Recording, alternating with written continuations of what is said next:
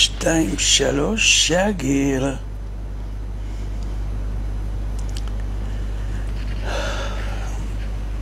יש מישהו בבית, יש מישהו ב... שנמצא על הקו, בעזרת השם.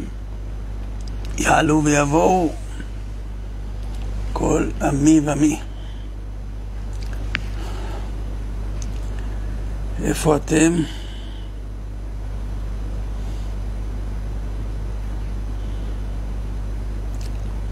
לא עולה.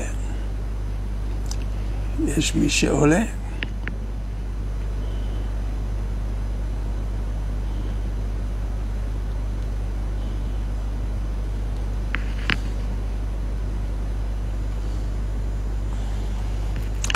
בעזרת השם, שומעים, רואים, יודעים, מקשיבים. בואו נראה אם יש לנו מישהו בבית. או, עכשיו אני מתחיל לראות, בצד השני אני לא רואה. טוב. המים פה, והשמיים פה, והכל פה. ובואו נראה.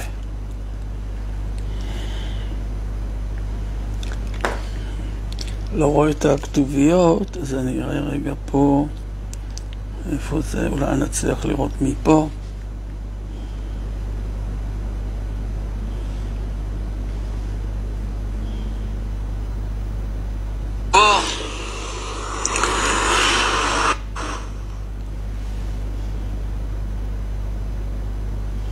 טוב.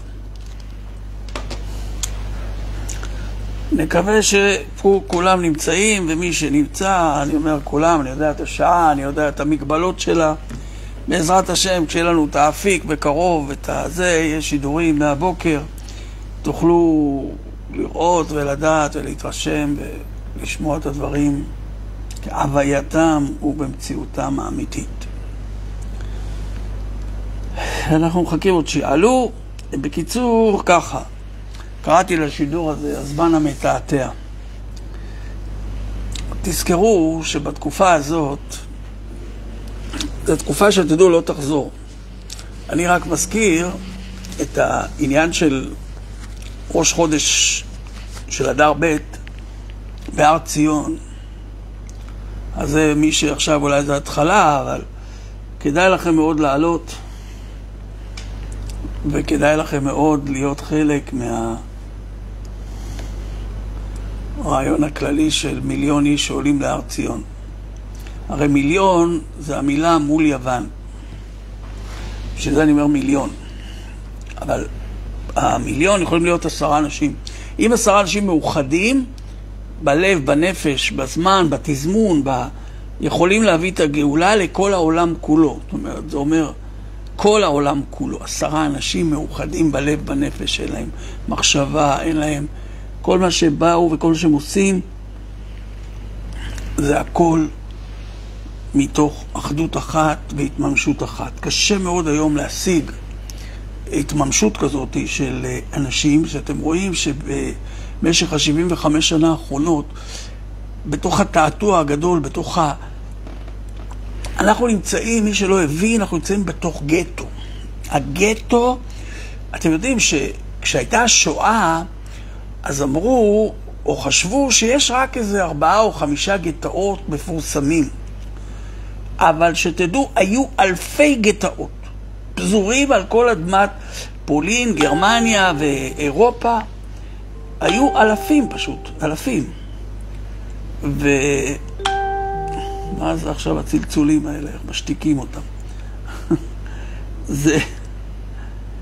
אז אה, גם פה הלכנו, אם תשימו לב, תעשו תמונת צילום מגבוה, ותראו, אתם רואים שמה שרואים מכאן לא רואים משם, מה הכוונה? זאת אומרת, אם אתה נמצא למעלה, אתה רואה את כל מה שמתרחש, וכשאתה נמצא למטה, אתה רואה את המגבלות שמקיפות אותך ברדיוס בו אתה נמצא. זאת אומרת, מה זה אומר? זאת אומרת שמלמעלה, מהמראה הכללי, מה אתה רואה על ארץ ישראל? ארץ ישראל, תדעו, היא מוגדרת בתורה כארץ רחבת ידיים, ארץ צבי, ארץ מתמתחת, שאין לה סוף. דוגמה, בית המקדש, הר הבית, נראה מתוחם בכמה מאות מטרים, נכון? מבחינת הרעיון, הר או הר ציון? תסבירו לי את העובדה, איך הגיעו מיליונים של מיליונים ברגל אחד, זאת אומרת ביום אחד, בשבוע אחד. ולכולם היה מקום לישון בירושלים, זאת אומרת, לא, מידע, הגמרא, התורה, התורה שבעל פה מעידה שבכל הזמן הזה שעלו לירושלים, היה אין סוף מקום. מעולם לא היה מישהו שחסר לו סנטימטר. ואיך היו משתחווים? אז כל האדמה הייתה נמתחת, הכל פילי פלאים. אז, אה, אז ארץ ישראל היא קודם כל בתפיסה רחבה, רחבת ידיים, וארץ ישראל היא רחבת ידיים. זה שגידרו את יהודה ושומרון ואת כל שטחי ירושלים אה, המרכזיים נתנו לערבים, זה בעיה בפני עצמה. זה שבכל שתי מטר, בכל מה שסובב תל אביב, יש כפרים או ערים ערביות שמתרבות. אם אתה עולה עכשיו מכביש, הכביש שבעצם, הרי כשאנחנו דיברנו על גטו, אז תזכרו שכל הרכבות וכל הכבישים וכל האוטובוסים וגם הרכבים שלכם מוגבלים למקום שיש בו כביש. זאת אומרת, או תחנה לעצור בה. אתה לא יכול לנסוע על כורכר. אתה לא יכול לנסוע על... אה, הרי לצידי הכביש, תיסעו בכל הכבישים הבין-עירוניים, יש סוללות עפר שאף פעם לא תראה מה שמינך ומשמאלך. ולא רק זה, אם יש כבר עצים, אז כולם עצי סרק או עצי, עצי כישוף, עצי העשרה. כל העצים שאתם רואים בדרך זה עצים שמחשבים אתכם, עצי העשרה נקראים. אה, עכשיו, כי בארץ ישראל המצווה, שתדעו, הראשונה, וזה אני אמרתי בשיעורים קודמים, אבל זה בסדר ללמוד אלף ואחת פעמים, או מעל מאה ואחת פעמים. אז עכשיו תראו, מה זה כתוב כי תבואו אל הארץ? מה עושה הדבר הראשון שהקדוש ברוך הוא עושה בעולם שאנחנו מכירים? ויטע השם גן בעדן מקדם. דבר ראשון, השם עוסק בנטיות של עצים. וכשהוא אומר לך, אתה חלק ממני, חלק אלוקה ממעל ומכיוון שגן העדן נמצא כאן, גן העדן, שתדעו, הוא פה, על הכדור הזה. רק לא, אתם צריכים למצוא אותו. מסתירים לנו אותו. ואיך יוצרים את גן העדן שהוא כולו מלא עצים? כי תבואו אל הארץ ונטעתם בה כל עץ מאכל. זאת אומרת שאסור שיהיו פה עצי סרק, כל עץ מאכל. מה זה כל העצים המשירי מוגלה האלה שנמצאים על המכוניות שלכם, בכבישים שלכם, משרישים, מרימים את הבלטות, אתה, אתה מצריך 100 פועלים, את אה, אריתראים וכל מיני פועלים שאתה צריך לייבא ולהחזיק אותם בשביל שינקו את העצים האלה? אתם קולטים בכלל מה אני מדבר? רצו לבחור החרדים, עד עכשיו נלחמים, מי יהיה ראש העיר שלהם, שיזרים להם יותר. אנשים לא מבינים שבעוונותיהם מגיעים להם כל הצרות. שלושה דברים מביאים מלחמה. הראשון, עינוי הדין. השני, עיוות הדין. השלישי, שלא מלמדים תורה כהלכה. שלושת הדברים האלה קורים כל רגע ורגע נתון כאן על האדמה הזאת, אז בטח שזה מביא מלחמה. והמלחמה הולכת להיות עקובה מדם, ומלחמה שלא חלמתם, כי המלחמה עכשיו היא מתוך הבית. והתוכניות של הממשל שלכם, שלנו, נגדנו, הוא בזוועות השם צבקות. שכל זה בא להזהיר אותנו, שהשם אוהב אותנו ורוצה להציל אותנו, אבל אתם ישנים. תעתוע הזמן של עם מונשם מורדם שלא רוצה להתעורר, שעומד בתור לקבל זריקות רעל, עומד בתור בשביל פיצה והוא משתתה ומרעילים אותו, וראש הממשלה הדפוק שלו עומד למעלה ואומר, אני רוצה רק uh, חיישנים, טבעות כאלה, שיהיו אלה ילדים, שאני תמיד אדע איפה הם, שהוא ידע איפה הם.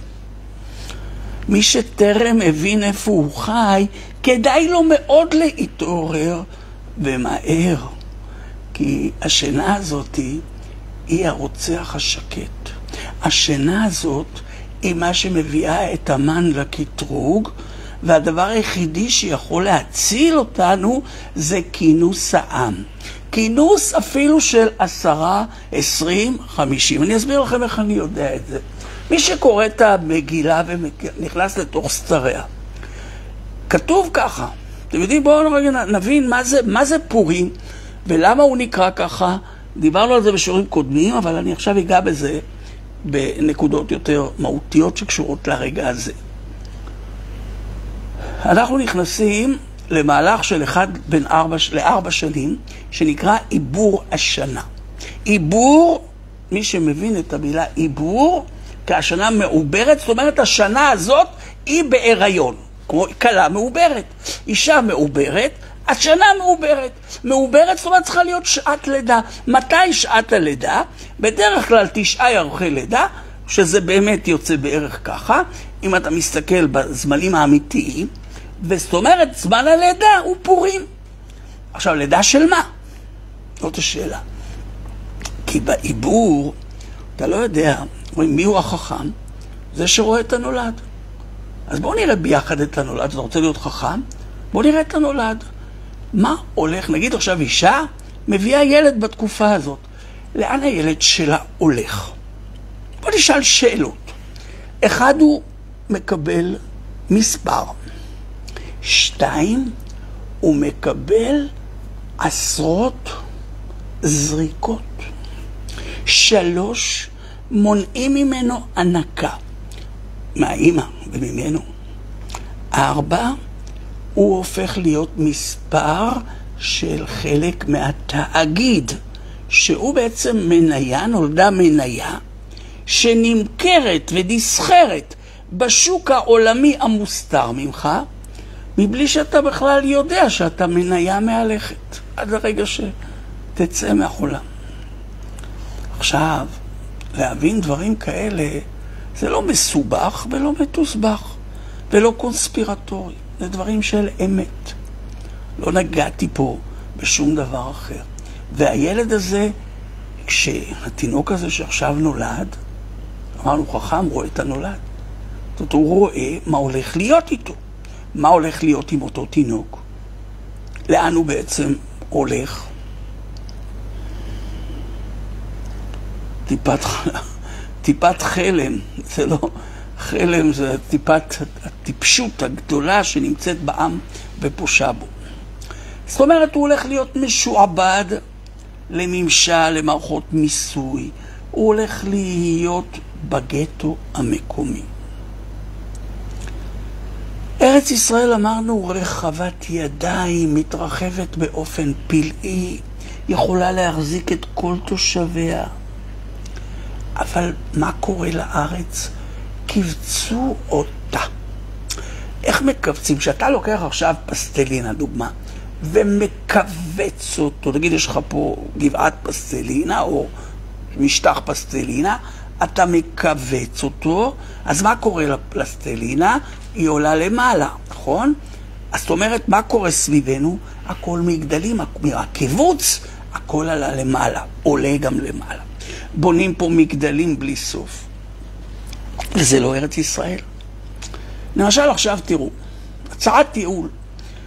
משטיחים את עזה, מחזירים לעצמם, נגיד, אם הייתה פה ארץ של חכמים.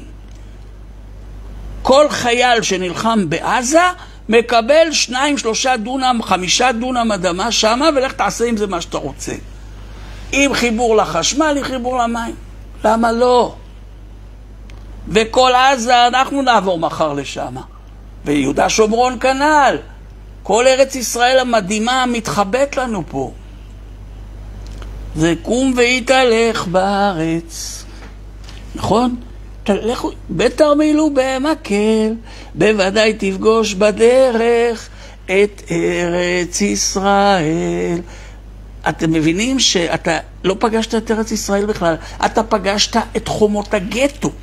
אתה פוגש כל רגע ורגע את הנתיב היומי שלך שמגיע מנקודה לנקודה, משביל לשביל, אבל בגטו.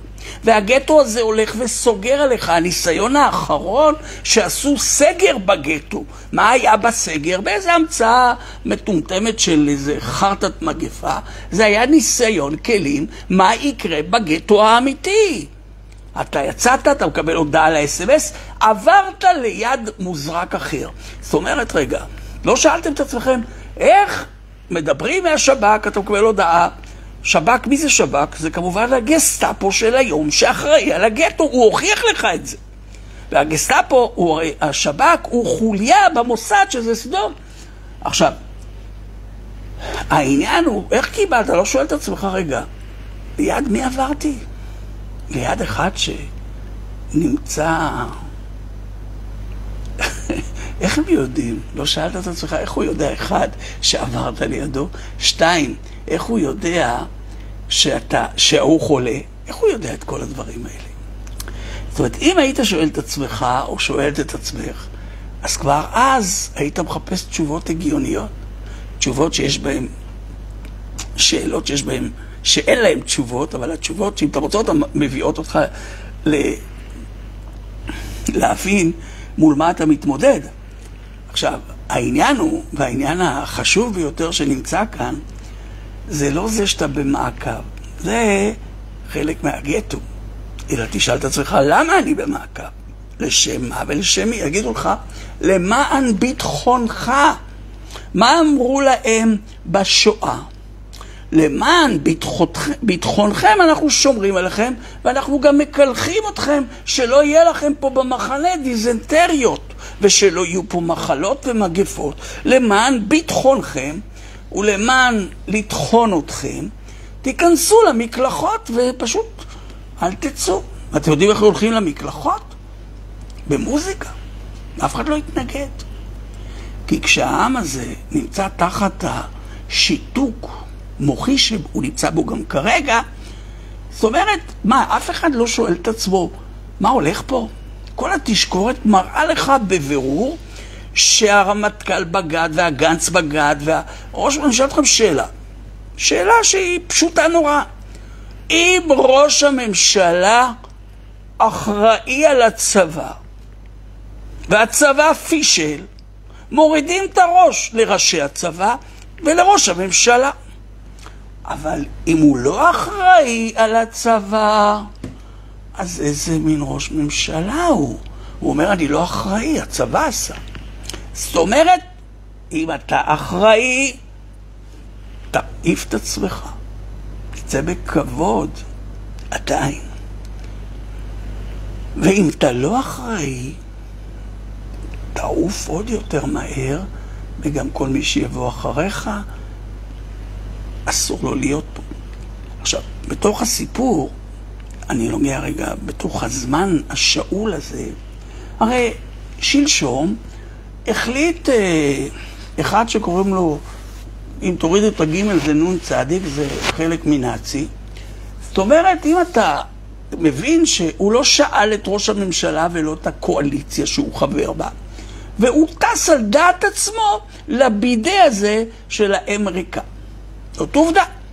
זאת אומרת שיש פה מבחינה רעיונית סוג של מרד בתוך הממשל עצמו. הלגיטימציה זה בין אוהבי הזיבי או הביוב משני צדדי המתרס. עכשיו, אנחנו יודעים שזאת תוכנית בינארית של תוכנות שחושבות בשביל האילומינצים. מה שאני רוצה לנגוע רגע משהו בתוכנות הבינאריות, שרק שתבינו. קודם כל, שנדע ושיהיה לנו ברור. מה זה תוכנה בינארית? מה זה כל הסיפור הזה של AI, ומה זה הסיפור של התוצאות של התוכנות המתוכנתות האלה, שיכולות לשנות לך ברגע אחד את כל החיים. מבחינה רוחנית, מדובר על עבודה זרה לשמה. עבודה זרה. שאסור לנו בכלל לנגוע ולהיות בה בשום פנים באופן. כי היא בעצם תשבית את המוח שלך לכיוון שהם רוצים, והיא כבר מתכוונת לנהל, והיא מנהלת כאן סדרי עולם חדשים, שזה כמובן כנגד בורא עולם. שהוא נתן לך, תמים תהיה עם השם אלוקיך. מה הם אבותיך? מי הם אבותיך? רועי צאן. רועי צאן, דוד המלך הביא אותו מאחורי הצאן. מכל אברהם, יצחק ויעקב, כל 12 שבטים, בירד יהודה לגזוז צאנו. רועה צאן, זה התפקיד שלך. יש לזה כמה משמעויות. רועה צאן, אנחנו נקראים צאן הבורא, צאנו של בורא עולם. רועה הצאן, זה נשמע בשתי משמעויות. הראשונה, ראייה, לראות את הצאן, מה קורה איתו. התינוקות של בית רבן, הם נקראים הצאן הרך. ואנחנו, צאנו של בורא עולם, כאמור. עכשיו, והוא נותן לך רועים, נקראים רועי ישראל. זאת אומרת, הרועים האלו הם בעצם, שנקרא אה, שלושת הרועים, שאנחנו יודעים על אה, משה, אהרון ויהושע, שלושת הרועים שנקראו הרועים של העם, אבל מבחינה רעיונית, מבחינה סובבת עולם, אנחנו הצאן שעליו מדובר. אבל המקצוע של כל העם הזה רועה צאן, הם באים לפרעה, אומרים לו, רועה צאן אנחנו. רואים את צאן אבינו. זאת אומרת, אנחנו צריכים להבין שבואו רגע ניקח מציאות אחרת. בואו נגיד עכשיו, יהודה זה שם עברי. שומרון זה שם עברי, שומר, רון. זאת אומרת, יהודה ושומרון הם ממלכות קדומות רק של בני ישראל. לא היו פה מעולם שום, כי שום, אף אחד לא יכול להחזיק את ארץ ישראל, למעט מעט ישמעאלים שיכלו להיות כאן כחלק מהערבות הזאת, שהם הרי נקראים ערבים, מלשון שהם ערבים בינינו לבין בורא עולם לשמור את הברית. זאת אומרת, ניתנה רשות לחלק מישמעאל להיות בארץ ישראל. חלק קטן, לא מה שמדינת פלסטין או כל השמות האלה. עכשיו, בשביל שיהיה לנו ברור במציאות שבה אנחנו נמצאים, ונוכל להבין את מיקומנו במצפן או במפה, יהודה ושומרון, אם תעלו עכשיו על הליקופט, על מסוק, אם תעלו עכשיו על uh, תצלומי אוויר, תיקחו, ותראו ארץ שמעיינות מים מפקים בה בבקעה ובהר. הנה אסי המשגר הגיע, אז אנחנו עפנו, כשרק שם המסוק הוא הגיע. אסי המשגר אותנו לחלל.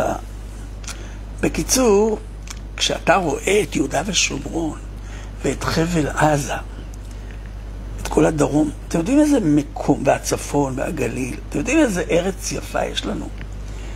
אנחנו הפסדנו אותה בגלל שאנחנו בגטאות, אנחנו לא מודעים שאנחנו בגטו, אנחנו חיים באשליה של עם חופשי בארצנו. זאת אומרת, אתה לא חופשי ואתה לא שום דבר דומה. אין לך פה את המקור שלשמו הגעת לכאן.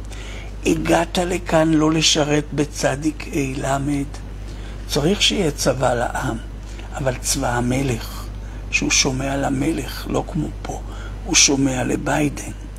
הצבא של היום זה לא שייך לעם ישראל.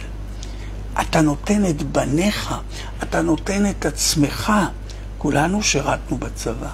נתנו את החיים כי היינו כל כך תמימים, שהתמימות הזאת, סלש טיפשות, היא הביאה אותנו ממש להיכנס להיפנוזה הזאת, להתאפנתות ולכישוף הזאת, ששירתנו מערכות שהן בכלל היום מערכות, שאתה מבין, מערכות מסחריות, כלכליות. זאת אומרת, כל חייל שהולך הוא מניה, כל חייל שהולך, חס וחלילה, מאיתנו, הוא מניה שנשרפה בשביל צמצום, והדברים האלה, הם לא, לא רוצים להתקבל בשכל בריא, בפיקחות פשוטה. להתפכח. אה, אתם חייבים להבין, ארץ ישראל היא שייכת לעם ישראל. עכשיו, אתם חושבים שעם ישראל נמצא כאן היום? אז בואו אני אתקל אתכם.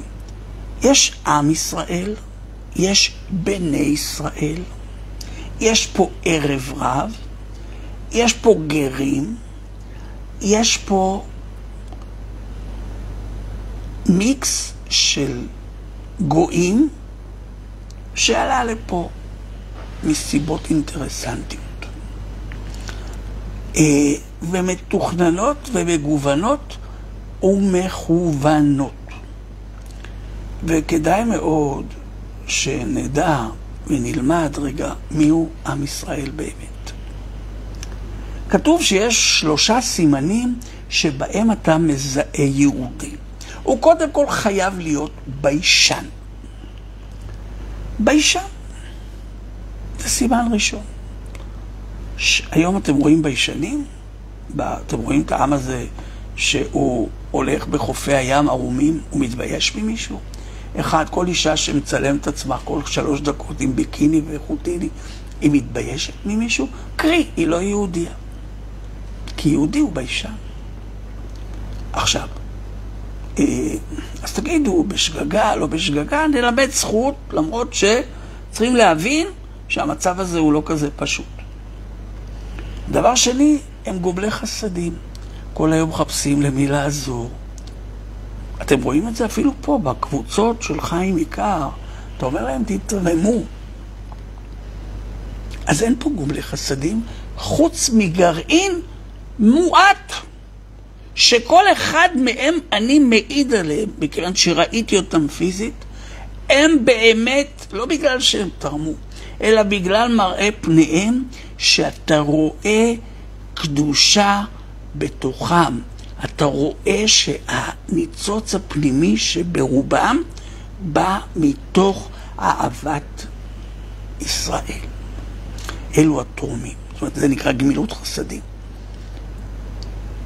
עכשיו, אם אתה לא מזהה בסביבתך את הסממנים או הסימנים של אותם אנשים שהם נושאים בהם את ההוכחה שהם יהודים, אז אתה מבין שפה באיזה מקום יש לנו איזושהי בעיה רצינית עם עצמנו.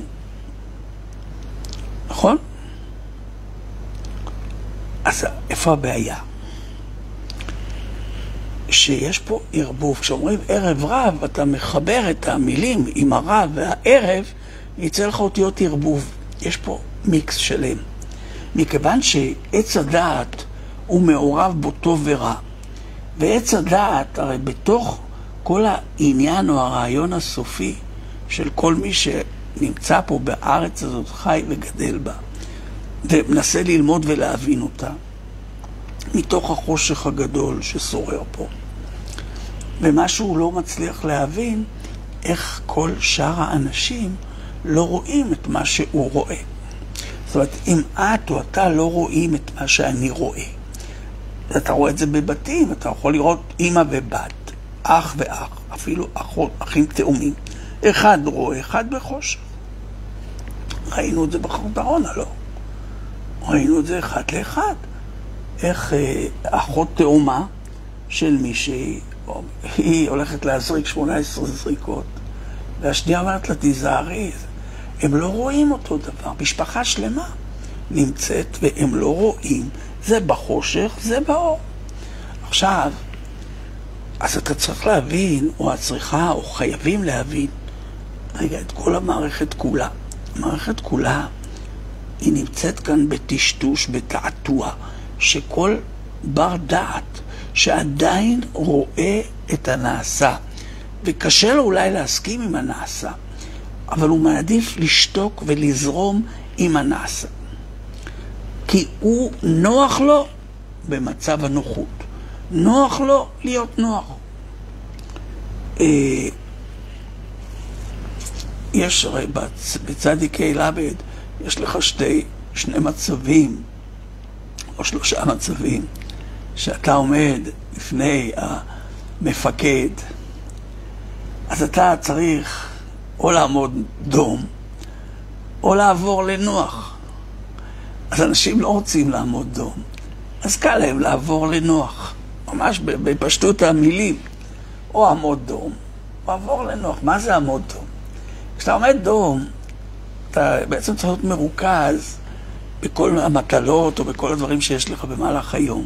ובמהלך החיים אתה שואל את עצמך, מי אני, מה המטרה שלי, מה הייעוד שלי, מה הייעוד שלי, למה באתי לכאן, מה אני מחפש כאן, מה אני הולך לעשות פה, מה, מה, מה בעצם מי אני, מה אני, למה אני, איך אני, מתי אני, ומה עם האני הזה בכלל, ומי הוא ומה הוא. אמרו לך, תשמע, יש לך ספר, קוראים לו תורה. בתורה הזאת היא מלשון הוראה. יש לך הוראות יצרן, בדיוק מה אתה צריך לעשות, אבל אומרים לך, תשמע, הספר הזה לא רק אומר לך מה לעשות, הוא הולך להכין אותך לעולם אחר לגמרי, שפה אתה רק במעבר, ואם תלמד אותו, אתה תלמד להטיס את ה... במרכאות, להטיס את החללית שתביא אותך לרקיע אחר או לעולם המקביל. ואם אתה לא רוצה ללמוד את זה, אז תדע לך, אתה תישאר פה תקוע, מבחן חוזר, ועוד פעם מבחן חוזר, ומשאירים אותך כיתה, ומשאירים אותך עולם, ואתה תקוע פה לנצח. אתה לא רוצה לצאת? את לא רוצה לצאת? הגיע הזמן לצאת, לא? אלא נוח, זה חלק מהנוח. אם נוח, יושבים ונשארים. אז עכשיו בואו רגע נעשה קצת אה, סדר בתוך העניינים. הראשון בהם, בתוך ההתבוננות הפנימית לעומק, כדאי שנבדוק רגע עם עצמנו באמת מה, מה הסביבה, למה נולדתי, למה שונאים אותי, למה הגעתי לכאן, למה רוצחים אותי, למה מהרגע שאני נולדתי אני חי בפחד, או באיזה תמיד איזושהי הרגשת אשמה. ולמה אני בעצם אה, נמצא בסיטואציה הזאת? זאת אומרת, אם אתה מסתכל ואתה אומר, רגע, אני נמצא בארץ ששמה ישראל. אז מה, מה זה ישראל? אז אני שואל, מה זה ישראל? אז אני מגיע, רגע, היה פעם אדם שנלחם עם איזשהו שר, אה, בלילה, והמלחמה הזאת הולידה שאותו מלאך אמר לו, תשמע, לא ישקרא שמך עוד יעקב, כי אם ישראל, כי שרית עם, כי ישראל שרית עם השם ותוכל.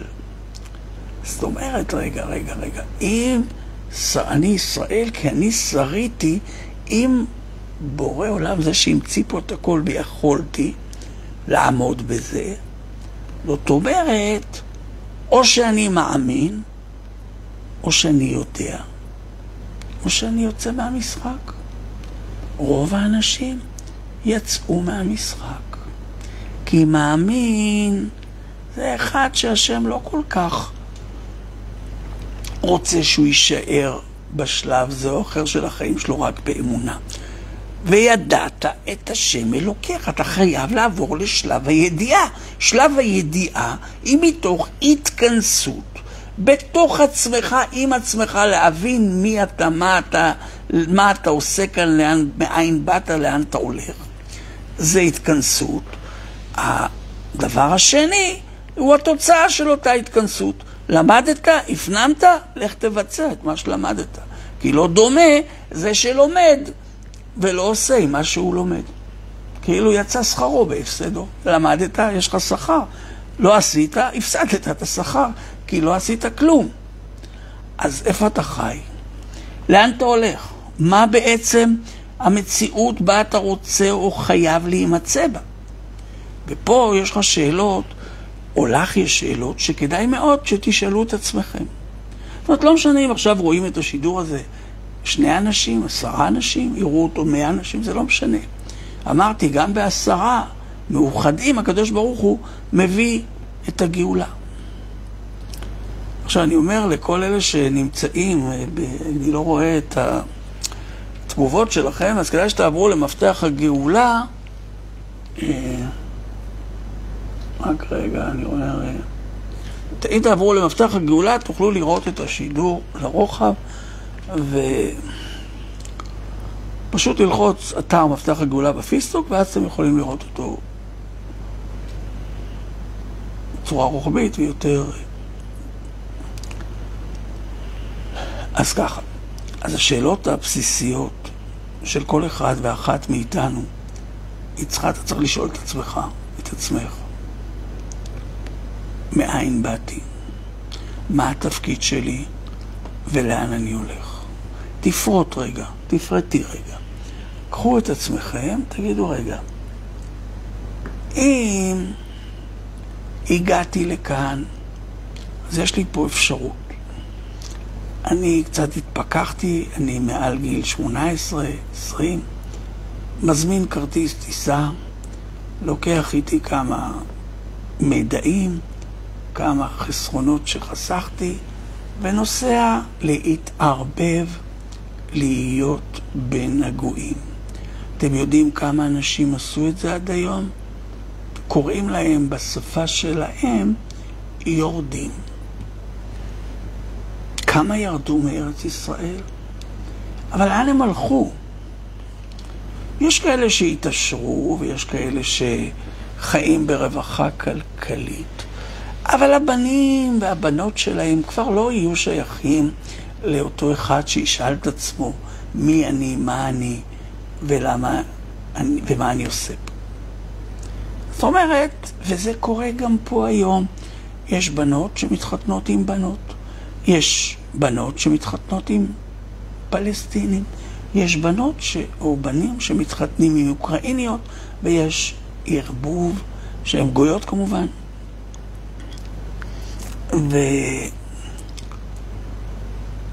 והערבוב כבר קורה כאן, זאת אומרת, ארץ ישראל היא כבר לא המולדת, היא כבר לא הכוח הרוחני שיש בה, אלא היא חלק משאלה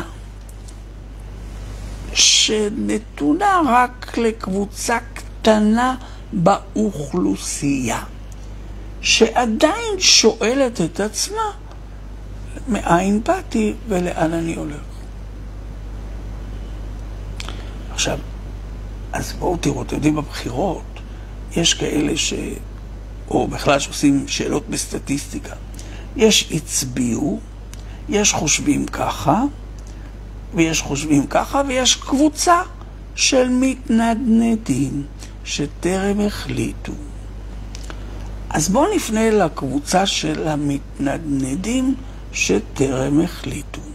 מי שהצביע יודע מה טוב לו, הוא נמצא בדמוקרטיה, הוא נמצא בציונות, הוא נמצא בסדר החולני הישן-חדש, והוא נמצא בגטו וטוב לו עם זה. ויש כאלו שלא מבינים מה קורה סביבם. הם לא מבינים איך פתאום הכל השתגע פה. הם לא מבינים איך פתאום הממשל והממסד שהם כל כך התחברו ואהבו, הם קוראים לו בגד בהם. זה הרבה יותר מבגד בהם. הוא מכר אותם, מכר את כולנו. מכירה, אפילו לא פומבית. עכשיו, כמו שכתוב בתורה, איך נמכרנו בכלל בלא שווה כסף. הרגו אותנו, עכשיו טבחו בנו שישה מיליון לפני שמונים שנה, ואיזה מיליון בעשור, עשרים, שלושים, שבעים שנה האחרונות. איך מיליון? אז היו כאלה שקראו להם ילדי תימן, והיו כאלה שקראו להם ילדים מסוג כזה, וקראו כאלה שעיקרו אותם, והיו כאלה שחיסלו אותם בבתי המחלות, והיו כאלה שחיסלו אותם בזרקיה, והיו כאלה שמתו בתאונות דרכים, והיו כאלה שמתים בצבא. כל אלה מכונת השמדה סטטיסטית מתואמת איך לחסל, קרי בלשון שלהם לדלל, אוכלוסייה. הם לא הבעיה. הבעיה היא השתיקה המתמשכת של עם מטומטם שיושן בעמידה מונשם מורדם ולא מעניין אותו שהורגים אותו, הורגים את בניו, משתים בו והוא עובד כעבד נרצע שמעולם לא יצא מהגלות המצרית, לא שאר הגלויות, מגלות מצרים הוא חזר אליה. כי קל היה לבורא עולם להוציא אותך משם, פיזית, לקרב אותך כמה מאות קילומטרים, אבל בראש שלך אתה עבד, בטבע שלך, שלך, כולם פה עבדים. עבדים של מה? עבדים של הממסד. עבדים שכולם פה משרתים את האדונים. הם לא רואים את האדונים. אבל הם מעריצים את השליחים של האדונים שלהם. הרי יש פה ראש ממשלה שאם תסביר לי שאלו שבוחרים אותו זה אנשים כאילו הקשי יום, מה שנקרא מוגבלי מחשבה, שאותם הוא הכי הרבה דופק מכולם, אומר להם את זה בפנים, והם ממשיכים לבחור בו וקוראים לו מלך ישראל. זאת אומרת, הטמטמת חוגרת נמצאת כבר בשורשים. היא כבר נמצאת בתוך המחשבה הבסיסית שלך בקיום. שאתה מאמין שאתה יווני, אתה מאמין שזה נוח להיות יווני, שבעצם אתה הולך לאוניברסיטה. ואתה בעצם מקדם את העולם, זה נקרא אקדמיה.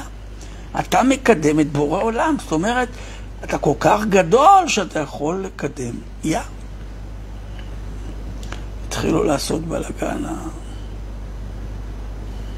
בואו נחכה לראות בצד השני. הם עושים בלאגן, אני אמשיך, ואז אה, אלה שנמצאים פה, בעזרת השם, אה, יוכלו לראות את ה...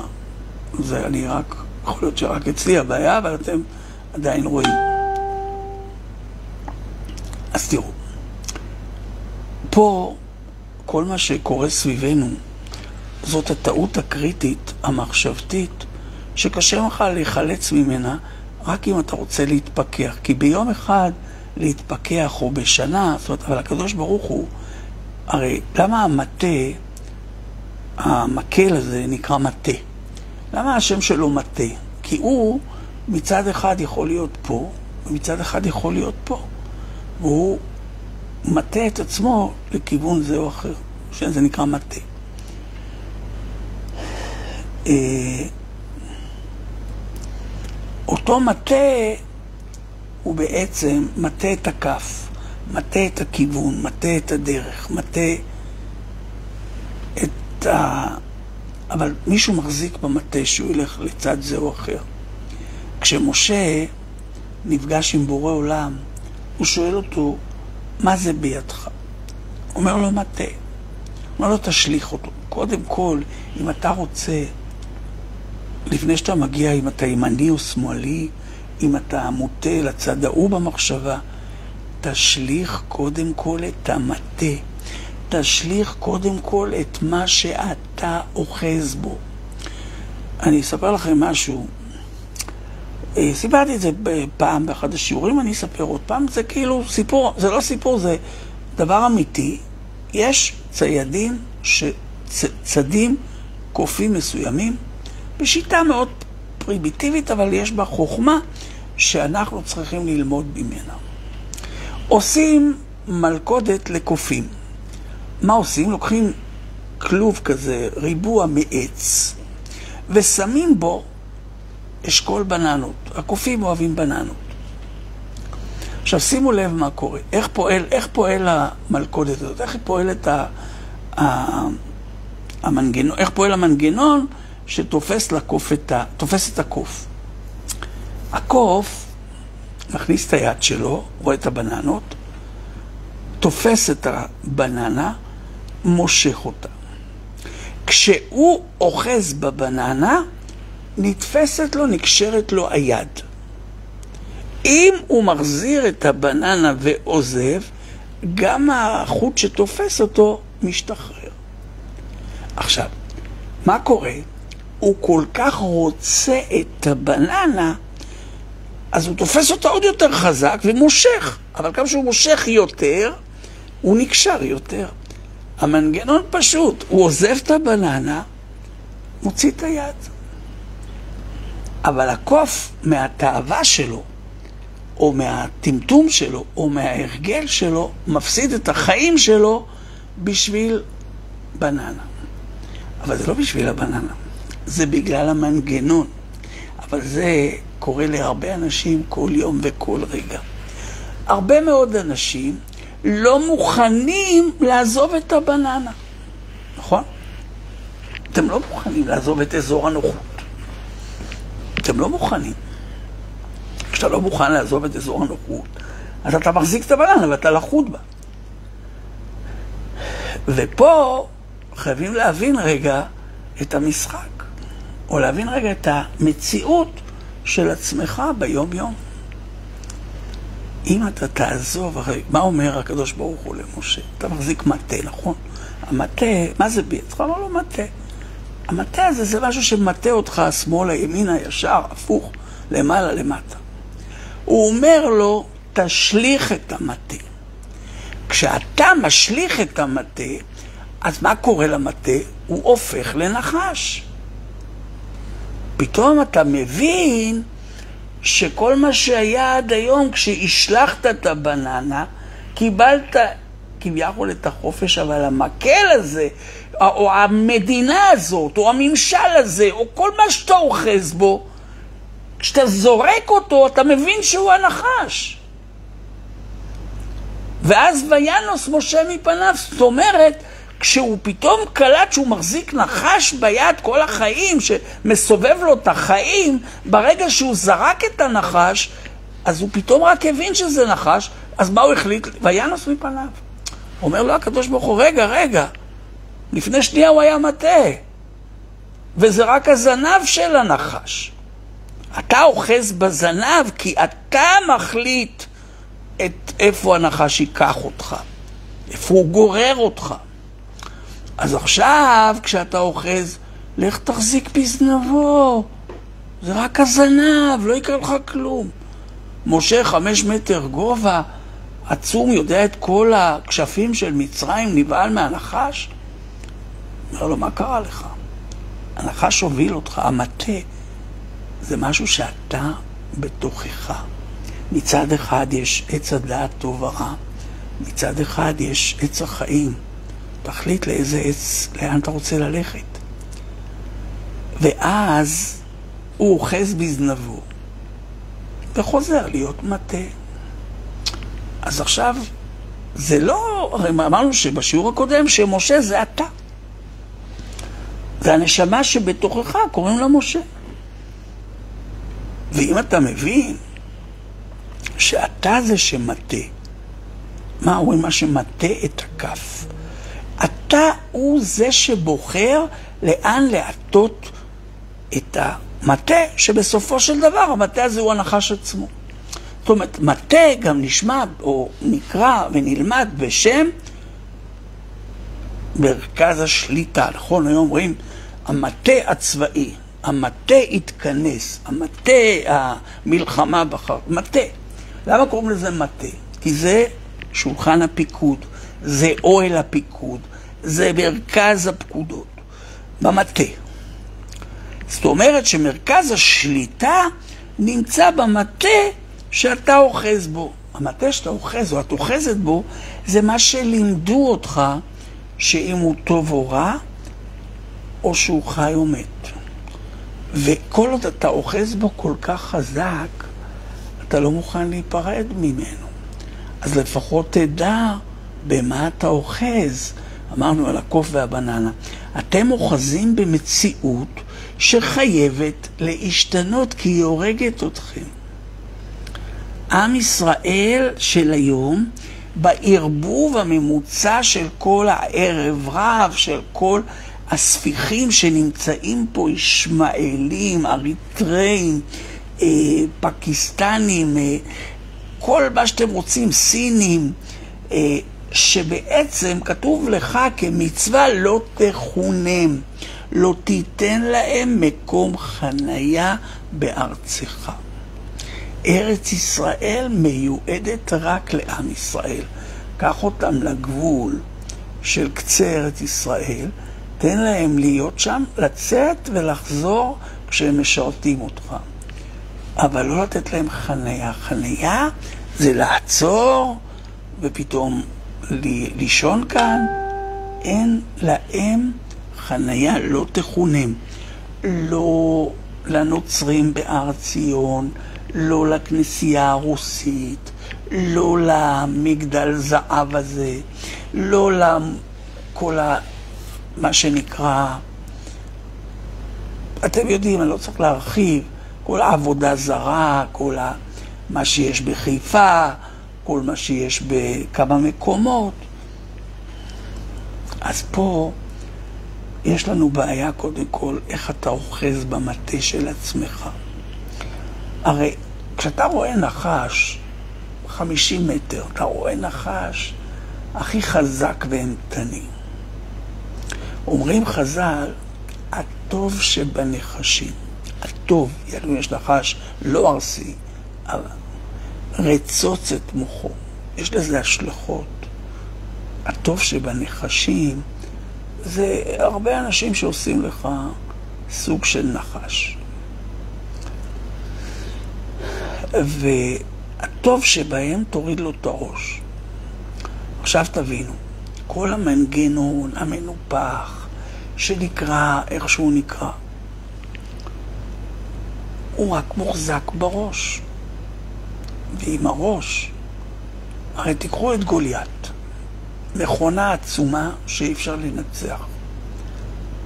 אז כל הגוף, הגודל הזה, ראש. לאן הולך דוד? למקום שבו נקודה קטנה בראש, שאתה מפיל את כל הגודל העצום הזה. תזכרו, גם אם ריקה, גם הממשל פה, הכל זה ראש. אתה רק צריך לאתר את הראש ולצאת נגדו למלחמה שיצא דוד. הוא נלחם בך, אבל הוא עושה את הכל בעורמה כצד הנחש. אם אנחנו רוצים להבין או לצאת מהצד הזה של הנחש, שאחרי שזרקת את המטה הבנת שהוא נחש, ואתה בעצם חיית עם הנחש, ואנחנו חיים כל רגע עם הנחש, שמשקר אותך, שאומר לך טוב למות בעד ארצנו, שאומר לך בוא תתגייס, עזוב את הישיבה, מה אתה צריך תורה זה פרימיטיבי, גנץ נוסע באישון לילה, מוציא חוק, לגייס את החרדים, החרדים עכשיו יעשו הפגנות, יבואו שוטרים גורילות, יפוצצו להם את הראש, ותהיה פה מלחמה פנימית, הערבים יצטרפו לשוטרים, כי אז כשעם ישראל לא מסתדר עם עצמו והם מחכים להתסיס את עם ישראל בתוך עצמו. וזה קורה כרגע והולך להיות בזמן הקרוב אש, שאיך אומר הפתגם? מטומטם אחד שזרק גפרור, הדליק יער שלם. זאת אומרת שהיער או המנידה הזאת לפני שריפה. אל תהיה חכם, אל תהיה סופר חכם. תבין את הנולד, תקרא את המפה. אתה יכול ללמוד אם עכשיו שולחים לך תמונות של עלמים, של בחורים מתוקים שנרצחו בחודשים האחרונים. אתה מדכא את עצמך, אתה מבין, נותן כוח. אנשים שהולכים כל הזמן שירי דיכאון, תמונות מדכאות, את כל מה שעשו למסכנים האלה בדרום, שהשואה לא שונה מהשואה שעשו לנו היום. רק שהשואה של אז הצניעו את התמונות ורק הראו לך טרקטורים גור... גוררים גופות למוות, לקבר אחים. פה זה קצת יותר משוכלל. פה, ואני אומר את זה בזוועות אלוהים, יכלו לקחת ילד מתוק וליד הקהל שם, ליד ההורים שלו, לחתוך אותו, לאכול את האיברים שלו מול ההורים שלו. לקחת אישה בהיריון, אחת מהם לשרוף באמצע, שכולם מסביבה, רואים איך היא צורחת יחד עם התינוק שלה נשרפים. עכשיו, ואלו תמונות שהקדוש ברוך הוא מראה לנו לא בשביל שנזדעזע בנשמות העדינות שלנו, אלא שתבינו שהשם לא משחק איתנו יותר. שהשם אומר לך, תשמע, אני הבאתי אותך לעולם בשביל שתהיה או הבן שלי או העבד שלי. אתה תבחר. לא הבאתי אותך או אותך שתתחתני עם בת דודה שלך או עם חברתך. לא הבאתי את אדון יושב ראש החרטת כנסת שתתחתן ותביא מבעלך את סדום ועמורה. ולא הבאתי לכאן אנשים שהסתובבו לי ערומים כשאני פקדתי להיות צנועים. אני לא הבאתי לכאן אנשים ונשים שיבגדו כל יום בבעליהם ובנשותיהם. אני לא הבאתי לכאן שופטים מושחתים, בג"ץ שבעצם עובר על כל חוקי בורא עולם, ולא הבאתי לכאן את הדיינים הארורים שגורמים לכל ה... מה שאנחנו רואים סביבנו. עכשיו, אם את או אתה מבינים איפה מיקומך בבריאתו של הבורא, הוא הזהיר חזור והזהר, חזור והבאר. הוא אומר לך, והגית בם יומם ולילה. תפתח את ספר ויקרא, ותפתח את כל הספרים שגם בפרשות עכשיו, אין לך תראה.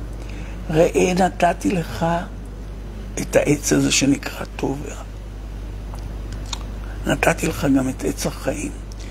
כל מה שאתה צריך לעשות בשביל להתחבר לעץ החיים ולחיות לנצח, אתה צריך לקום ולבחור מתוך הרע והטוב בטוב. מה קרה פה? רוב האנשים, רוב האנשים בחרו ברע ובוחרים כרגע ברע. אם אתה מסכים שיהיו פה בג"ץ ומפקדי צה"ל שרוצחים את החיילים שלהם, אתה שותף לפשע. אתה בשתיקה שלך תעבור מחר בשמיים, תעלה בית דין של מעלה ובלילה שאתה הולך או הולכת לישון. שואלים אותך ואותך, תגיד, מה אתה רוצה ממני? גדלתי פה, אני תינוק שנשבע, שבו אותי, אני, לימדו אותי על רפואה ועל uh, דמוקרטיה. מה אתה רוצה? אתה שואל את הדיינים. הדיינים עונים לך.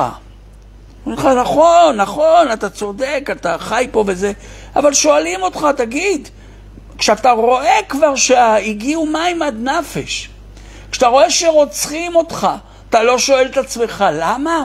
כשאתה רואה שהממשל שלך, זה שמתוכך הורג אותך, הורג אותך במיסים, הורג אותך במגפות, הורג אותך בזריקות, הורג אותך, שולח אותך לצבא למות, זאת אומרת, מפנה אותך מהבית, וכל מה שהוא עושה לך, ואתה עוד שותק, אז יגיד לך, תראה, אין לנו מה לעשות איתך. שתקת, השתיקה שלך היא הרוצח של עצמך, של בניך ובנותיך. העלו איזה אבא אחד שאומר כל ישראל בית קברות אחד גדול אחרי שהרגו לו את הבת. לא זוכר את השם שלו, ראיתי איזה סרטון. עכשיו תראו, הקדוש ברוך הוא אומר לכם, השתיקה שלכם, כתוב, יש גמרות שלמות, שתיקה, גם בחושן המשפט. שתיקה כמוה כהודאה. שתיקה אומרת שזאת הסכמתך למצב. אם שתקת, אם הסכמת, אתה לא רק אשם, אתה הולך לגרדום, ולא אחשוורוש. עכשיו שימו לב, אני חוזר לפורים. למה זה קשור? אחשוורוש משתלט על העולם, והוא האיש הכי עשיר בעולם. כל מה שיש עושר בעולם, והוא חייב להראות את כבוד מלכותו. והוא, אני עושה את זה בקצרה, והוא עושה משתה, סעודה, וליהודים הוא שם להם בכשרות לנדה, בד"ץ, בג"ץ והבג"ץ ומי שאתם לא רוצים, ושם להם את כולם וישבו עם ישראל והשתתפו במשתה. אתם יודעים באיזה יום היה המשתה שהם הוזמנו אליו? ביום הכיפורים, שהוא כמו פורים. וביום הזה אכפר על עוונותיכם. ביום הזה לובש אחשורוש את בגדי הכהן הגדול. ביום הזה הוא שם את עצמו על הכיסא שהוא העתיק משלמה המלך. ביום הזה, בשושן הכביכול בירה, מתכנסים כל הרב לאו, הבבון, והרב ההוא והרב ההוא, והיוספים והיוספים, והבצרים והמוצרים, וכל רב מגיע ואומר, רגע, חייבים להתחכך בשלטון, כי הוא ייתן לנו כסף לפתוח מקוואות, בתי כנסת וישיבות. טיפשים מטופשים. זה מה שהשם רוצה ממך, שתפתח מקוואות. הרי מי שלומד תורה בסיסית, אומר שתורה לומדים בלחם לחץ. מים במשורה תשתה. זאת אומרת, איך יכול להיות, גם כרגע זה לא פורים של שושן, זה שושנת יעקב של הימים האלו, שבו חי חודש אדר, ואם לא נצא מהפורים האלה, אנחנו נמצאים בתוך הקטרוג העצום של אמן, שאומר ישנו עם. העם הזה יושן. ואין למלך שווה להניחו.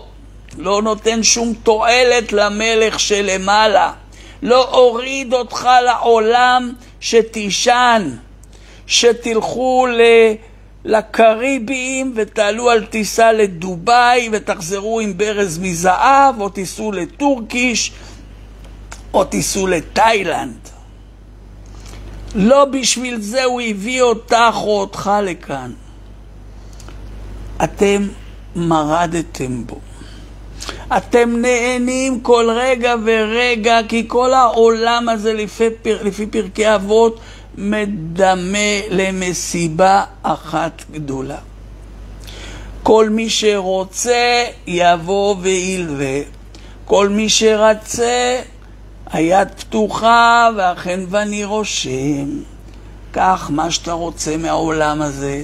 אבל תזכור שבסוף תצטרך לשלם את החשבון. ואם לא הבנת שהחשבון פתוח והיד רושמת, והרשות נתונה, וכל מי שירצה יבוא וילווה.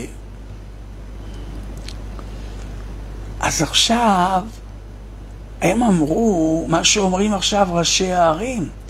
בואו נגדיל את הקואליציה ונהיה חלק ממנה, שנקבל מאני מזומני, ונפתח ישיבות ונבנה מקוואות ונכניס ספרי תורה ונעשה מסיבות ונעשה חברות ונעשה אתר הידרדרות ונשים את בנות ישראל שישימו את פניהם, גופותיהן ומעשיהן בחלונות ה...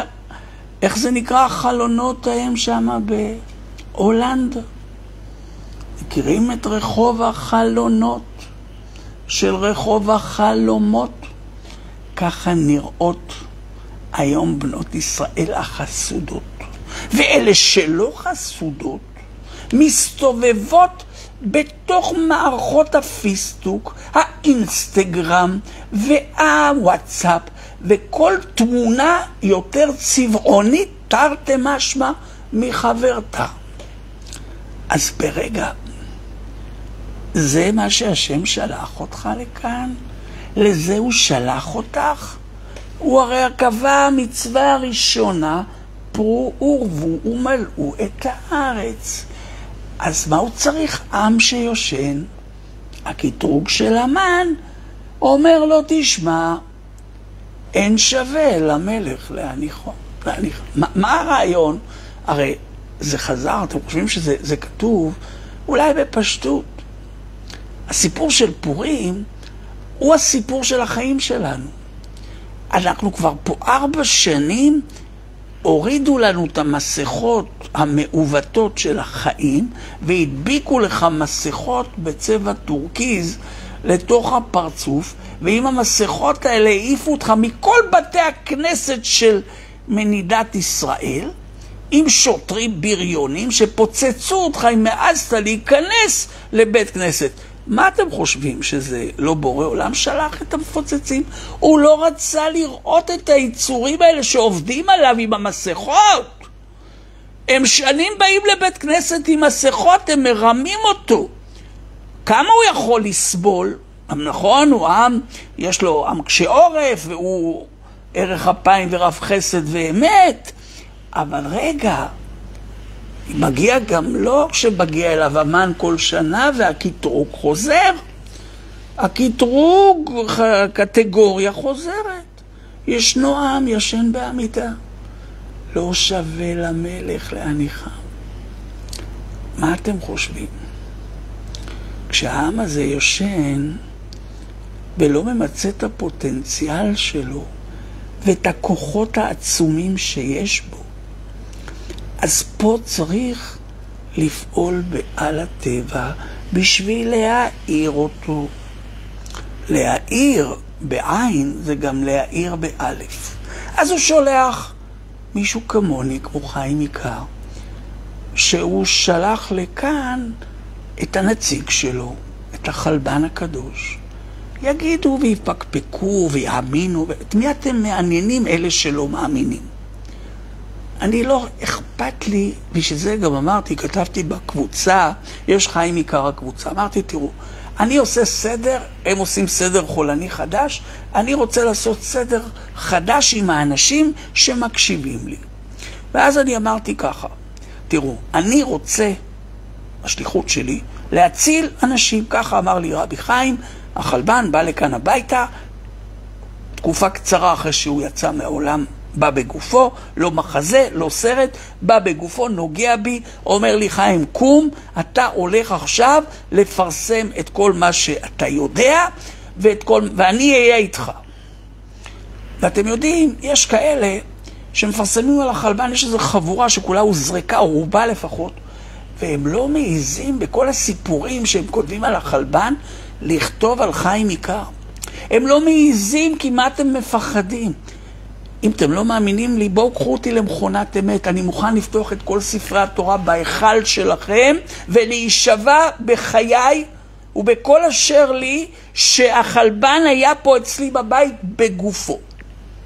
מי שלא מאמין, זה לא מעניין. זאת אומרת שאין בך אמונה, ומה ש... לא צריכים להאמין בחיים, צריכים להאמין בפה שמדבר. הפה הזה שמדבר איתך, אתה תקשיב לאותיות, תקשיב לרצף החיבור של הדברים שהוא מביא לך במשך כמה שנים טובות, שלילה אחרי לילה, יום אחרי יום, אני לא עושה כלום. היום יכולתי, הייתי צריך לשבת על משימה פה עם עורך דין, עם עשרות מכתבים, ואני העדפתי לכתוב עוד דבר ועוד להעלות עוד סרטון, להראות לאנשים כמה הם צריכים להיזהר. את ה, מה שנקרא, אני עושה את השליחות שלי. השליחות שלי היא להציל בני אדם. ואתם, אלה שצופים בי, אלה שיש שם אלפיים איש בקבוצה, שאם מתוך האלפיים איש רק עשרות בודדים עולים להר ציון ותורמים, כל ה-1980 מחקתי אותם מהקבוצה. כי אתם לא רק כפויי טובה, אני לא תחנת שידור ולא שדרן.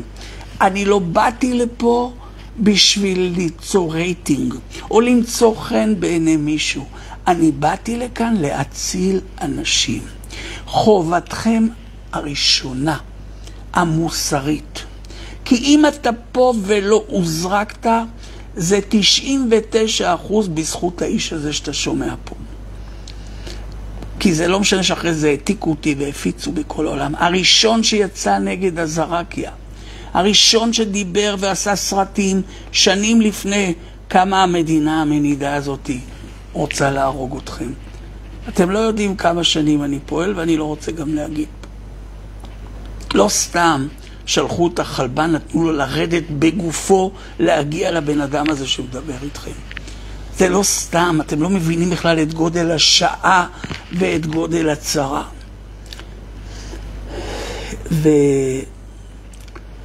והדברים האלה הולכים, וברוך השם, דווקא אותם אנשים קטנים, ככה אני לומד, אלה שתורמים, אני אומר, אני לא צריך את כל השאר.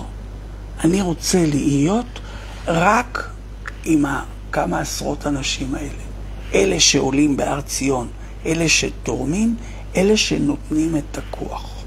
לא רוצה לראות את כל אלה שבאים לי, אוכלים, שותים, ואפילו לא חושבים לרגע איך אני עוזר לבן אדם. לא ניגשים אליך, חיים, תשמע, אני רואה איזה עבודה אתה עושה. קח עכשיו עשירייה, קח עשרים. קח את החסכונות שלי, אני איתך, אני רוצה להיות חלק מהעשייה שלך. אנשים מביאים לך שקלים. לא, אל תביאו לי, כי זה בושה. בושה לכם ובושה לי, ושנינו להתבייש. אל תביא לי חי שקלים, אני לא קבצן ולא מקבץ נדבות. המשימה היא, צריך מיליון, שני מיליון שקל. אם אתם אלפיים איש בקבוצה, כל אחד היה צריך להוציא רק אלפיים שקל. והיה פה הצלה לעם ישראל. אבל אתם לא מוציאים, כי האנשים האלה הם לא בעלי זכויות. ולכן אמרתי, הקבוצה הזאת בלי נדר, אני מתכוון לעשות את זה עד פורים, אני אראה שהם לא תורמים, אני או סוגר אותה כליל, אוסף משם רק את הבודדים, סוגר פשוט את הקבוצה. אין מה להחזיק קבוצה של אלפים שאף אחד לא עושה כלום. ויש אנשים שהיו מתקשרים אליי, אתה יודע, זו אישה אחת, מתקשרת, איך לא העלית ביום חמישי את השידור הזה? איך לא העלית את השידור הזה לזה? אמרתי לה, תגידי, את פעם בחיים שלך הוצאת שקל? לכי שימי עכשיו אלפיים שקל, תביא את המעשרות שלך של כל השנה, אני אתחיל לדבר איתך. למה, אני חייב לך משהו? זאת אומרת, אתה מבין את ה... זאת אומרת, לא רק שהיא לא תורמת, אלא גם יש לה טענות. עכשיו, יש לי כאלה, לא רוצה להגיד לכם באיזה מספרים. מתקשרים, לא אכפת להם, בלילה, רק תעזור לי, תתייעץ לי, תברך אותי, תעשה. אבל ת, תבינו, אני לא ממסד, אין מי שעומד מאחוריי. אני רוצה להציל, אני רוצה עוד להציל עוד אנשים. אני רוצה שיגיע למיליון איש, שאולי יהיה להם את זכות הבחירה, כמו שהשם קבע, זה לעומת זה עשה השם. שתהיה להם את זכות הבחירה להבין בין חושך לאור. יש אנשים ששמעו בהתחלה, לא האמינו, אבל עם הזמן ירד האסימון, מה שנקרא, וכן האמינו. אז זאת אומרת, יש סיכוי שמתוך מאה אלף איש, אחוז אחד זה אלף. הצלת אלף, אחוז אחד. הצלת אלף, הצלת אלף עולמות של הקדוש ברוך. אז זאת אומרת, למה שאתה או את לא תהיו שותפים? למה עכשיו יוצא מחצית השקל?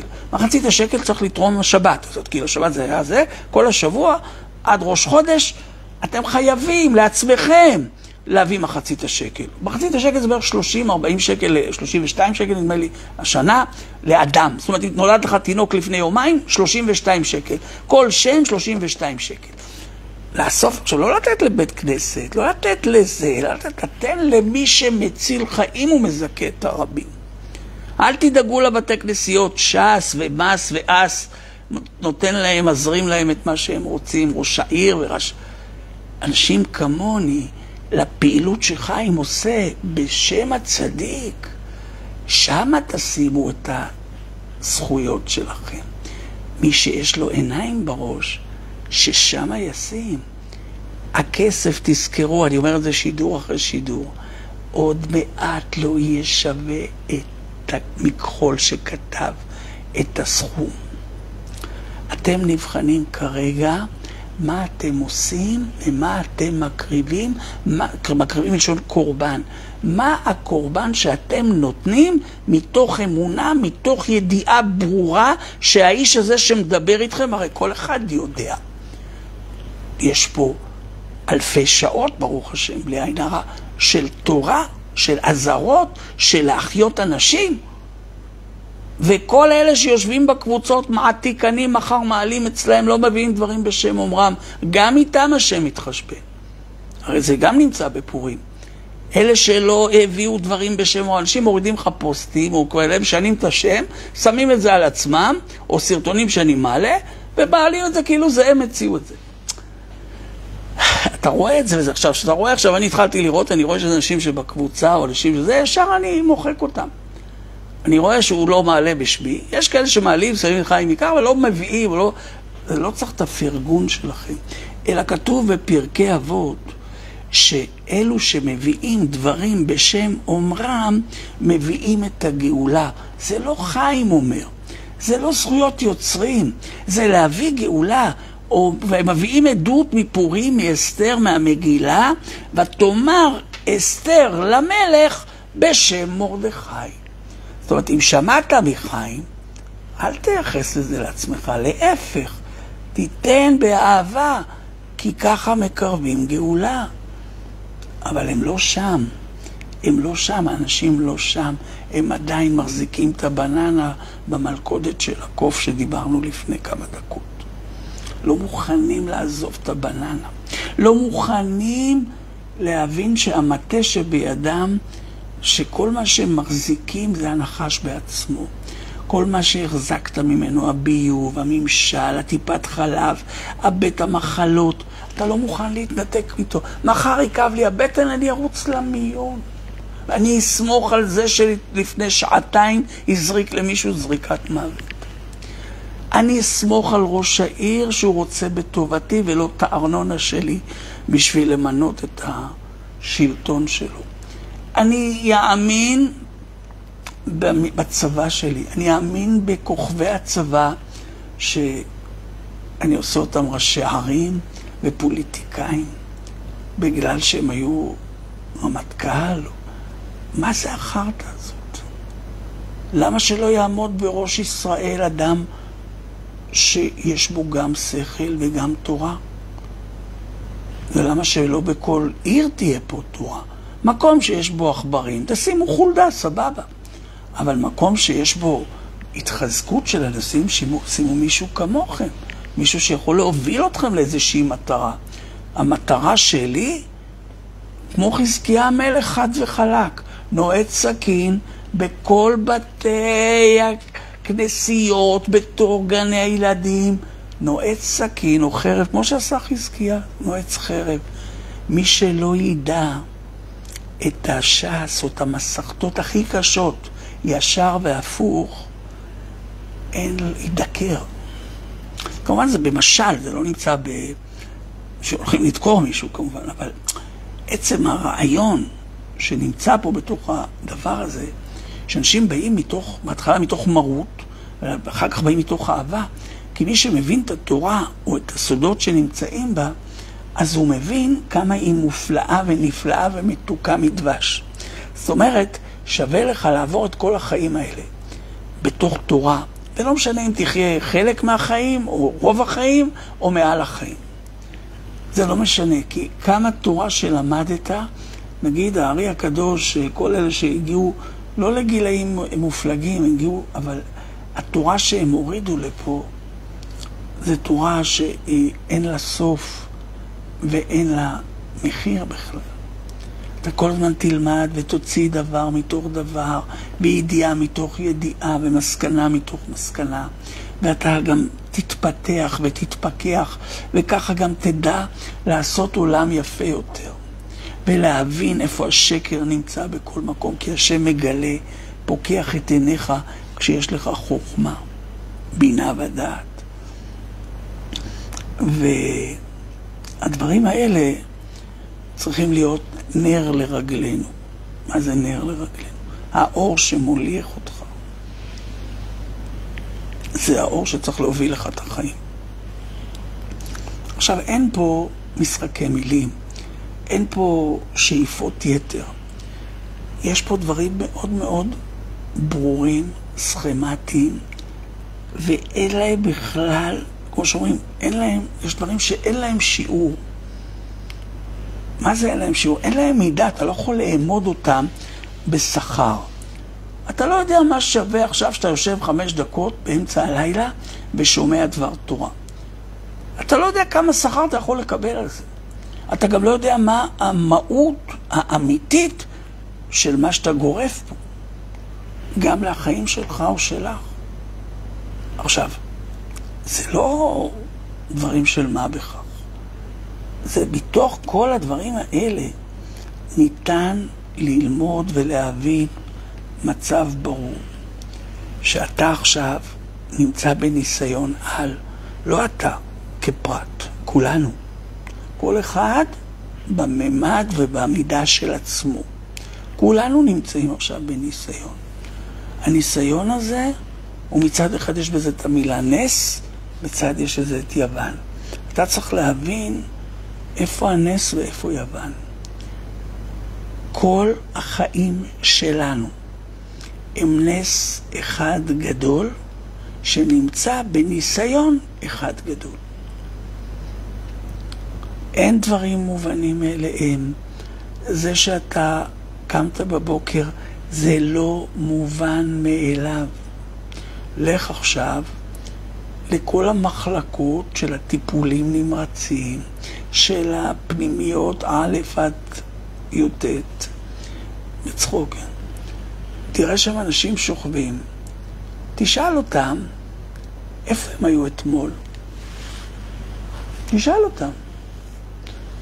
הרי לפני שעה לפעמים, הוא רק עכשיו הגיע, פתאום כואבת לו הבטן טירוף. פתאום כל הגוף, העצמות שלו ככה, פתאום, פתאום. אז זאת אומרת שאתה קמת בבוקר והלכת לישון בערב וקמת למחרת בבוקר, אתה נמצא בנס. למה נראה לך לא טבעי שההוא קם והלך למיון, או שבאו באמבולנס לקחת אותו? זה נראה לך טבעי? וזה שאתה קם בבוקר זה לא טבעי? אז הנס הוא בזה שאתה קם או את קמה בבוקר. הנס האמיתי שתדע להעריך ולהגיד תודה, קמת בבוקר, קודם כל תחייך. דבר שני, תסתכל, אני שלם, לא כואב לי, לא כואב לי עכשיו כלום. קצת, יודע, עלו מהשינה, יצאתי מתוך הפוך, לתוך הקור, סבבה, אבל קמת? מה אתה אומר? אבא, תודה. אבא, תודה. מודה אני לפניך, מלך קראי וקיים, שהחזרת בי נשמתי בחמלה. קודם כל, חמלת עליי. וואי וואי, כמה אני מאמין בך, בחמלה רבה אמונתך. אני מאמין בך ללא סייג. שגם מחר בבוקר תאיר אותי בלי שום כאב ומחוש ומטוש. אם אתה באמת רוצה להבין את המציאות שאתה חי בה, כדאי שתבין אותה לעומק. מה העומק שבה? אנחנו פה אורחים לרגע. מכירים את השיר הזה? אנחנו כאן אורחים לרגע, זמנך עבר. אתם זוכרים את השיר הזה? יש כזה שיר. אנחנו פה אורחים לרגע. תסתכל איך עברו לך מ-0 ל-30. תסתכל, את בת 40, את בן 50, אתה בן 60, אתה בן 70, טק, נגמר הסרט. איך זה עבר? ג'ט. פתאום חנוכה, פתאום פורים, פתאום פסח, פתאום, פתאום, פתאום. טק, טיק, טיק, טק, וכולם בטיק טוק. המחוג של הזמן מתעתע. אתה צעיר, אתה חושב שיש לך את כל החיים. הצעירה, למה אני צריכה למהר? מה אני צריכה עכשיו 14 ילדים? מה אני צריך עכשיו חיתולים? אני אצא לים, אני אעשה תואר ביוון, אני טס לתאילנד, אני אעשה, ואני, ואני, ואני, טק, אתה בן 40, טק, אתה בן 50, נגמרו כבר היכולות והפוטנציאל, כי בגיל הזה איחרת את הרכבת. אתה, לא, זה לא צחוק, ואנשים חיים בדמיונות וחושבים שהצעירות שלהם היא נצחית. הם לא רואים במראה כל יום נוסף קמת, כל יום מתעגל הטוחס, כל יום מוסיפים קילוגרם, כל יום מלבינים השערות, ולאן אתה הולך? לאן את הולכת? הרי אומר לך בפרקי אבות, דע מאין באת ולאן אתה הולך. צריך לעשות על זה שיר, שאדם יבין, ולא בגלל שאנחנו חס וחלילה, אנחנו רק רוצים לתת לנו תמונה יותר בהירה של המצב של כולנו. זאת אומרת, ואתה לא בנית את בית המקדש. ישאלו אותך שאלה ראשונה, תגיע בשיבה טובה, 101, 121. תעלה למעלה לבית הדין. אין, אין פטור לאף אחד, כולם יגיעו לשם. דע מאן באת ולאן אתה הולך. באת מטיפה סרוחה, ולאן אתה הולך? לבור שכולו רימה ותולעה. לך תוציא גופה אחרי חודש, כולה תולעים. אחרי חודשיים כבר הבשר אכלו אותו כל התולעים. אתם מבינים לאן אתם הולכים? אז למה להיות שם אם אפשר להינצל? למה לא לקום עכשיו, לתת צדקה, לעשות חסד, לגמול חסדים, ללמוד תורה, להתחבר לבורא עולם, לעלות להר ציון, לעלות לבית המקדש, לנסות לבנות את בית המקדש, להיות חלק מקבוצה או מקובץ של אנשים שמאמינים ברבי שלהם, מאמינים קודם כל בבורא עולם, ומאמינים שאפשר להחיות את דוד המלך כאן בהר ציון. אז תגידו, הבן אדם הזה התגלץ', ירד מהפסי רכבת שכולם נוסעים בהם. תגידו מה שאתם רוצים, אבל ניסיתם לשנות פעם? ניסיתם פעם לזרוק את המטה? ולגלות שהוא בעצם נחש, לזרוק את המטה זה לזרוק את אזור הנוחות, לזרוק את הפחדים שלך, לזרוק את הנוחיות שלך, לזרוק את האגו שלך, לזרוק את המוסכמות, לזרוק את כל מה שהאמנת או האמנת בו וחשבת שהוא נכון, לזרוק את הדמוקרטיה, לזרוק את כל... הפוליטיקה המקומית והפנימית, לזרוק את כל הגשמי ולהבין שהכל זה רוח, וברוח מנצחים את הכל. אומר הקדוש ברוך הוא לדרך הנביא, תדעו לכם כשעכשיו תבוא המלחמה האחרונה, איך יהיה הניצחון? הוא אומר, לא, לא ברעש, לא באש, לא באטומים. ברוחי, אמר השם, ברוחי. אם את או אתה מבינים שמה שמנצח את הכל זה הרוח, וכל החומר שסביבך, אם תזיז את האותיות מחומר, תרשום, תראה שזה יוצא לך מרוח. כל החומריות הזאת היא רוחנית.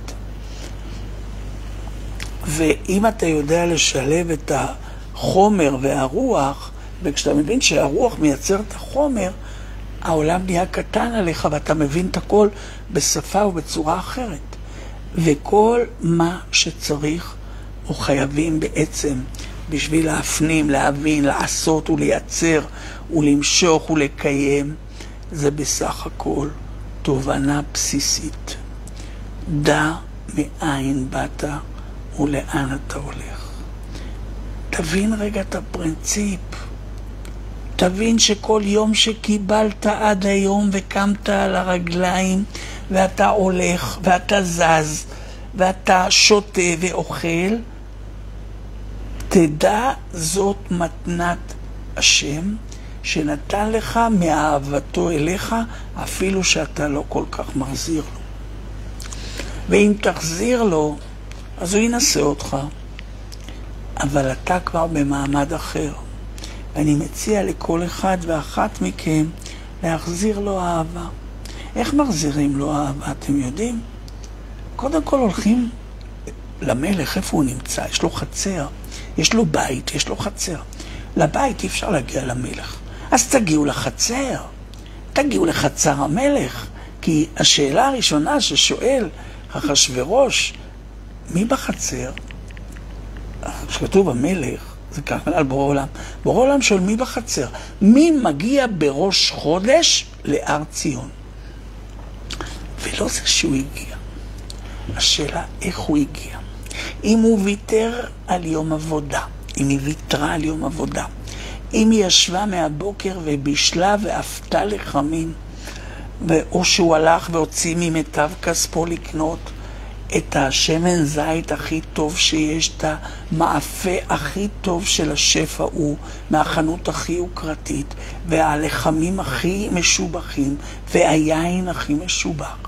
כי הוא מבין שהוא מביא את זה לחצר המלך. למלך באים עם אה, חומוס אה, של שטראוס. למלך באים עם חומוס שעשית במו ידיך. ובזמן שעשית את החומוס, והזמן שעשית את הטחינה, ובזמן שעשית את המאפה ואת התבשיל ואת הפשטידה ואת העוגה ואת העוגיות ואת הפירות שבחרת אחד-אחד, פה אתה מביא ממיטב הארץ. ועם זה אתה עולה להר ציון, נוסע באוטובוסים ממעלות, סוחב את הבוזוקי, סוחב את הגיטרה, סוחב את, ה... את עצמך בגשם, בקור, בשיא החום, באין לך אפילו, אתה לא יודע איך תגיע. אני סומך על הבורא, אני אגיע ואני מצידי ישן שם לילה לפני. בזה אתה מראה לבורא את ההסכמה שלך לכל הדרך שלו ולזרוק את המטה, להבין שהוא נחש ולהחזיק בזנבו, ואתה מחליט לאן למשוך אותו ולא הנחש, שהוא לא הולך ישר, הוא מתגלגל. אז תזכור, תזכרי. כל מה שאנחנו עושים בעולמו של בורא עולם. במיוחד בעת ובתקופה הזאת. אם לא גילית את ראשי החודשים ואתה חושב שמי שנגלה אליך כאן בשידור בחצות לילה בא לשכנע אותך שתעלה מאיזה שהן סיבות שאתה מערער על הרבי, אל תבוא, אל תבואי. אם רק אתה נאמן לעצמך, נאמן לבורא עולם, נאמן לשליחיו, אתה ואת עולים להר ציון בראש חודש אדר ב'. וכמה שאת או אתה מגיע לשם אין פאר והדר. מקום רעוע שאפילו די מוזנח. והכיסאות מקרטעים, והמקום לא מה שחשבת, אם הגעת פעם ראשונה. אבל אם הבנת שהמלך הגדול נמצא במקום הזה, ועלית ועלית, והבאת איתך את הילדים, והבאת את המשפחה, והבאת את הבעל ואת הבייביסיטר, ואת מה שאתם לא רוצים, את השמרטף ואת השמרטפית ואת כל מי שאתם רוצים. המקום הוא מדהים, הרי היופי הוא בעיני המסתכל. תדעו, כשאתה מחליט מה יפה או מה לא יפה, זה בעיני האדם שמסתכל. כשאתה בא ורואה איזה מקום ישן, זה מקום מדהים מבחינת, אם אתם שואלים אותי, דווקא מדהים בפשטות שלו, אבל זה לא המקום האמיתי. איפה שאנחנו עולים בהר ציון, זה מקום שהוא, מה שנקרא, עבודה בעיניים. הר ציון האמיתי הוא בשדה. הר ציון האמיתי, עכשיו קר, אז אנחנו לא יכולים להיות שם, אבל אנחנו נמצאים ליד השדה, ויוצאים לשדה. כל מי שבא, הולך להתייחד עם דוד המלך ועם כל המלכים ועם בורא עולם בשדה. ואנחנו גם תמיד יוצאים לשדה, ודבר ראשון, כשאני מגיע למקום, אני יוצא לשדה. וכמובן, אתה הולך מנשק את ספר התורה, שנמצא בהיכל. כל השאר שם זה תפאורות. זה הולוגרמות לא מעניינות. העניין הוא כשאנחנו מגיעים בראש חודש, אז אנחנו בעצם נמצאים כקבוצה שבאה בהזמנה שמישהו שטרח בערב שבת ואמר לכולם להגיע. פה לא מקבלים ארוחות חינם, עובדים. בשביל להיות חלק אתה צריך לתת, כי נתן זה נון תף נון. תהפוך את האותיות, נתן, זה נון תף נון. כשאתה נותן, נותנים לך. כשאתה נותן צדקה, מחצית השקל, מעשרות, תרומות, זיכוי הרבים, מתנות לאביונים, אתה נותן לעצמך, אתה קונה את העולם הבא שלך. וזה מה שהקמצן והכלאי לא מצליח להתרומם ממנו. לא מצליח. בשביל זה יש פה 1,980 שאני לא רוצה לראות אותם לא בהר ציון ולא, ב... ולא בשום מקום שנקרא נושא את שמי. כי אלה שלא תורמים, לא נותנים, לא באים, מה אני צריך אתכם? אז אני אסגור את הקבוצות האלה, מי צריך אותם? נעשה עכשיו רישום, מי שיגיע, נרשום, נראה מי בא, מי לא בא. מי צריך את כל הסיפור הזה? אני רוצה, עכשיו כתוב ככה, תראו, אומר הארי הקדוש, ואומר הזוהר הקדוש, חדא קנישתא. מה זה חדא קנישתא? בית כינוס אחד. אתם יודעים, אני אספר לכם משהו על... הרי כל הגזרה של פורים, והגזרה שגם מונחת כרגע, זה שהעם הזה יושן. ישנו עם. הגזרה הזאת כרגע מונחת. והגזרה הזאת של העם הישן בציון, שישן מהמצוות וישן מהקיום, והוא אותו עם שישב ונהנה מהסעודה של אותו רשע. איך העזתם לשבת ביום הכיפורים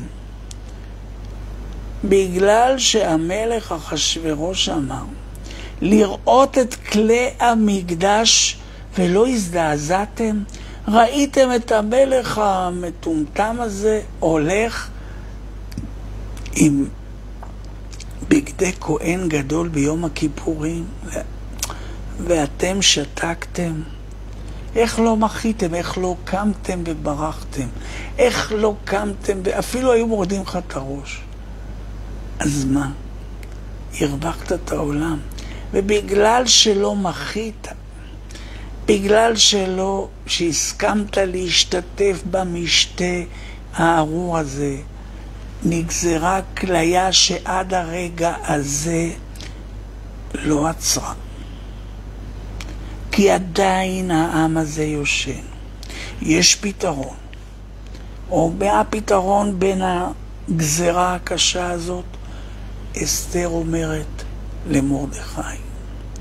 אתם יודעים מה זה מרדכי? אתמול קראתם את הפרשה, זה נקרא מר דרור. כתוב אמן מן התורה מניין, ומרדכי מן התורה מניין. הרי שם הכל נמצא בהסתרה. אז כתוב על המן שהוא אמן העץ, אמין העץ האותיות אמן, וגם אמן שאכלו במדבר. העניין של, ואיפה מרדכי? כתוב מר דרור. מה זה מר דרור לפי יעקב אבוחצירא, לפי גדולי עולם? מה זה מר דרור? קודם כל שתדעו, הדרור זה חופש. דרור, חופש, ומה זה מר? מר זה מלאך המוות. כתוב, מוצא אני מר ממוות.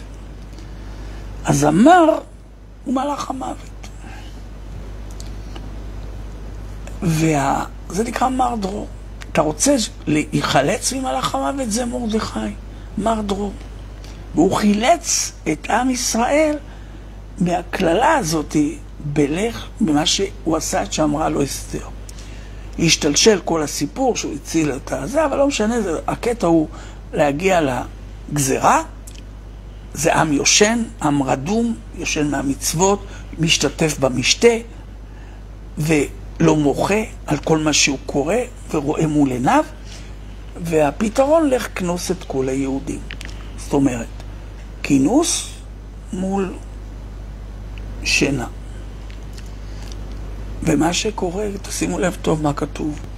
כתוב שמרדכי, לך כנוס את כל היהודים, לא בעולם כולו, אשר בשושן. שושן זה עיירה. כמה יהודים אתם חושבים היו בעיירה? מספר מצומצם. אבל המצומצם הזה הביא את הגאולה לכל העולם. אז גם עכשיו אנחנו עושים את התפקיד של מרדכי. מספר מצומצם, לך כנוס אותם ותביא את הגאולה. אם יעלו עם חיים עיקר, שליח החלבן, אפילו עשרה אנשים של אמת, שבאים מכל ליבם ודמם, דמם, מה זה דמם? זה כספם. מוציאים את החסכונות. לא בשבילי, אני לא צריך לאף אחד כלום, גם מתבייש שאני אומר את זה. מביאים את מיטב כספם, מביאים את מעשרותיהם, מביאים את המאפים שהם עפו בלילה. הם עשו את כל הדרך כי הם מאמינים שניתן לשנות הכל בראש חודש בהר ציון. כי שם נמצא המשיח שכולם מחכים לו. אתה לא צריך לחפש אותו לא בערי האלפים, לא בשמיים היא, לא בארץ, מתחת, לא מאחורי הים, לא מאחורי הכוכבים. בפיך ובלבך לעשותם. את השם מה רוצה ממך? שתחפש, תהפוך את תאילנד, תהפוך את ההימאליה, תטפס על האברסט, תשים דגל. הקדוש ברוך הוא רוצה ממך וממך את הלב שלך. והוא רוצה לתת לך שתפתח את לב האבן.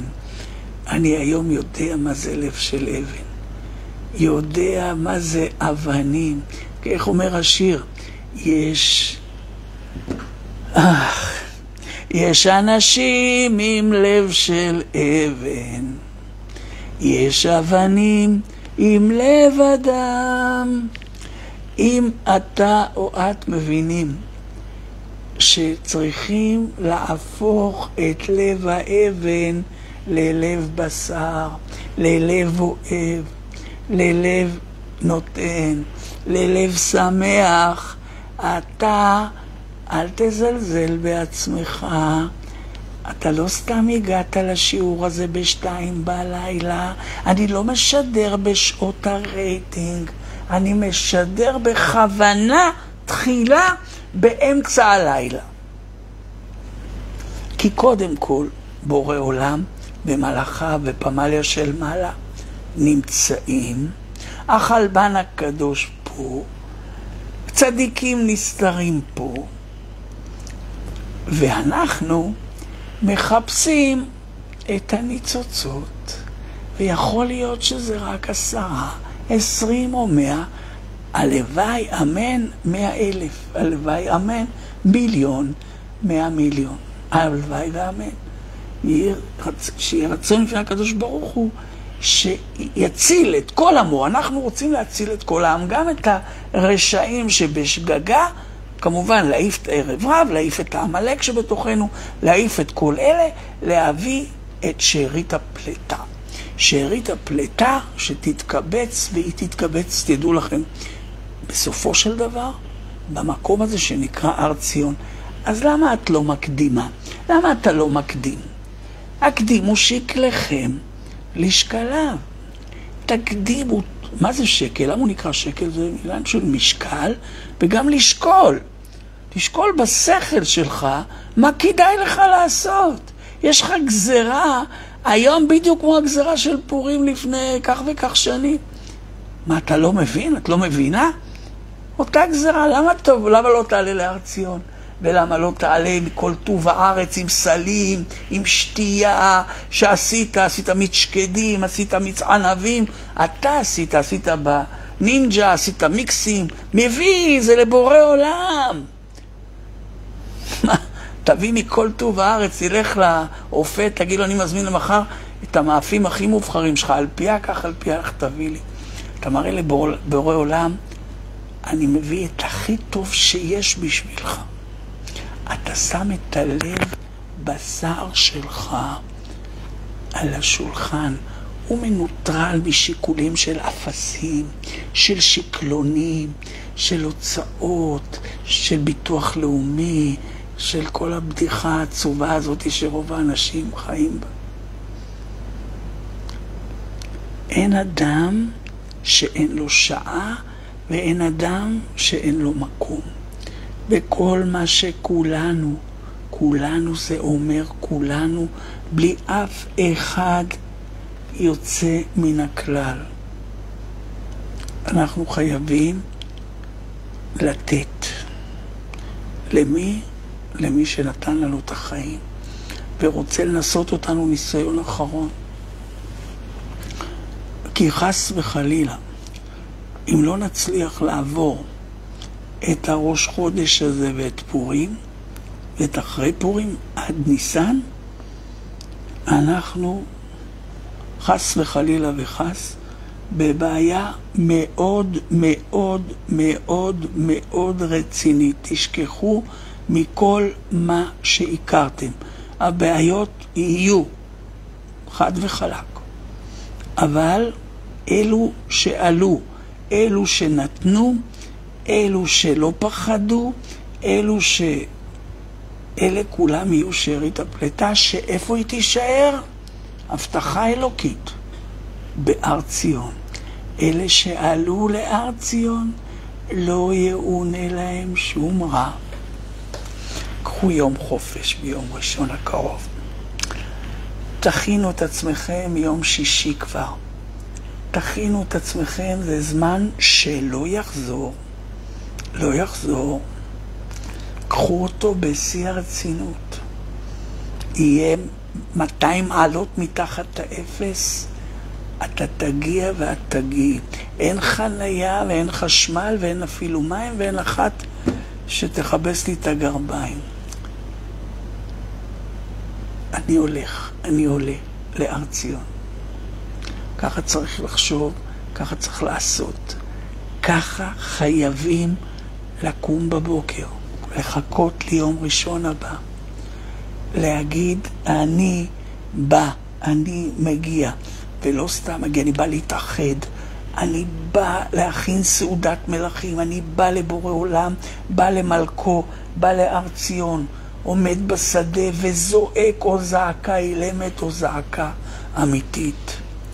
ואומר, אבא, בבקשה, באתי עד אליך, באתי לחצר המלך, באתי לכאן ואני מבקש שתקשיב לי.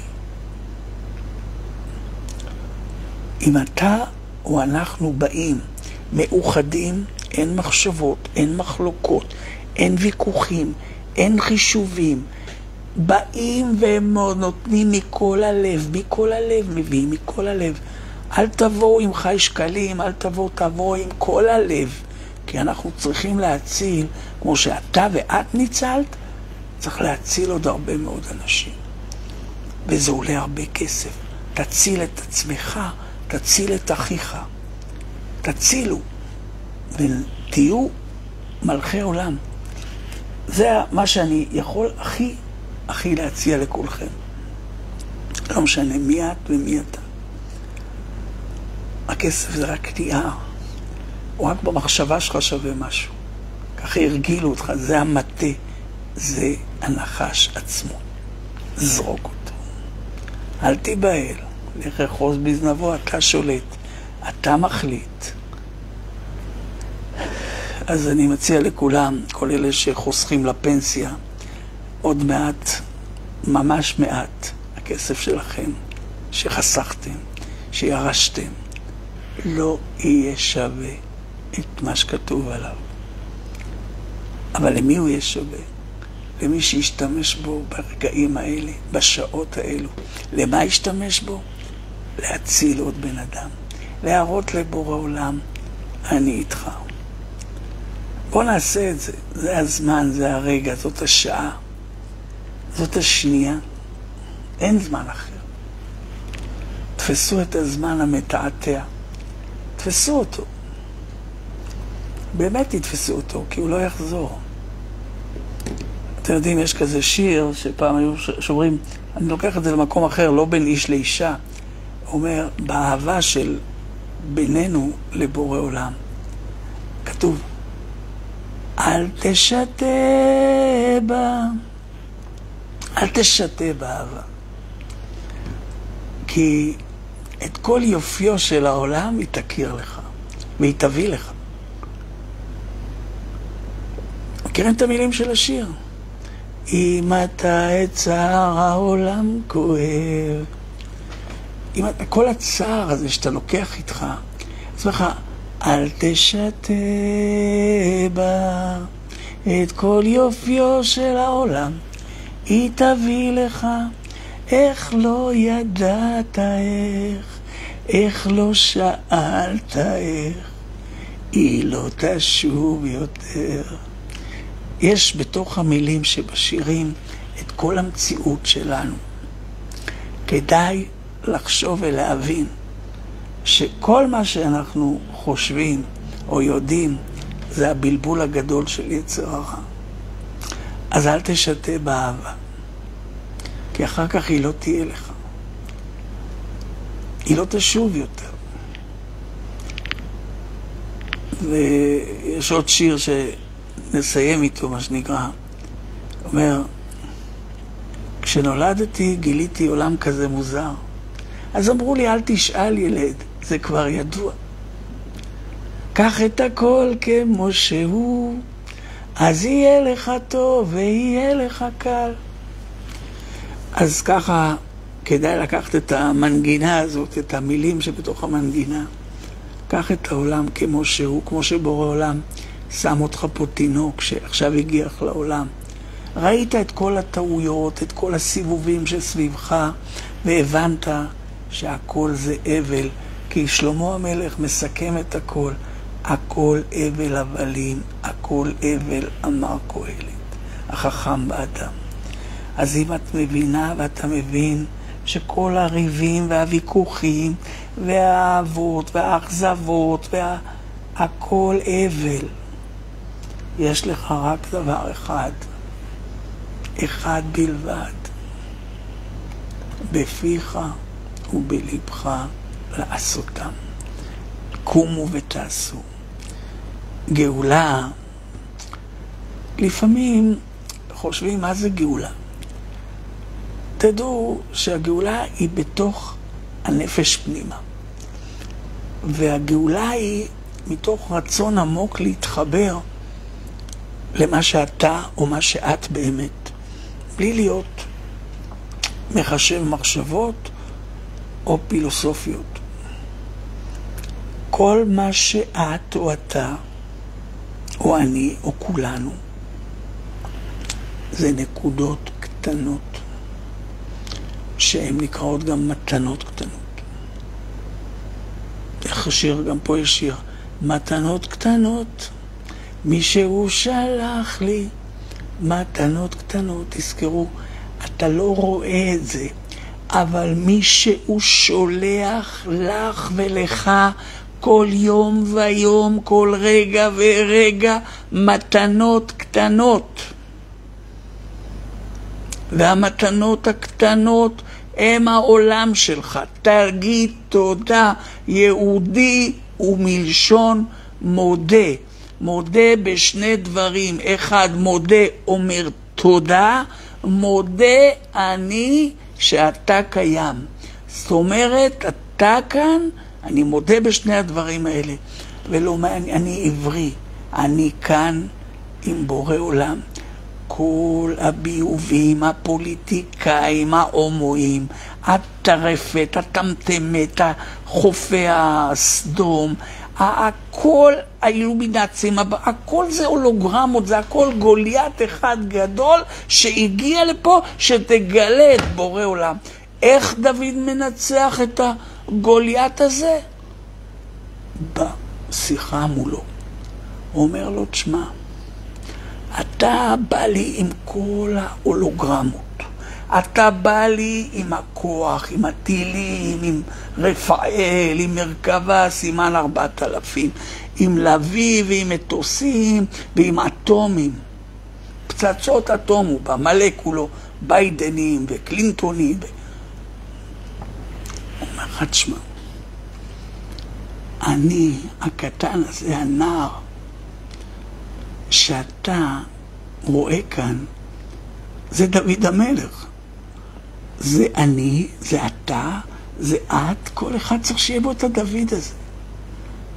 שם השם בתוכך נקרא עליך, יש לך ברית מילה, את בת של אם יהודייה. זאת אומרת, לאבא שלך היה ברית. אתם חייבים לקיים את הברית. מה אומר דוד לגוליית?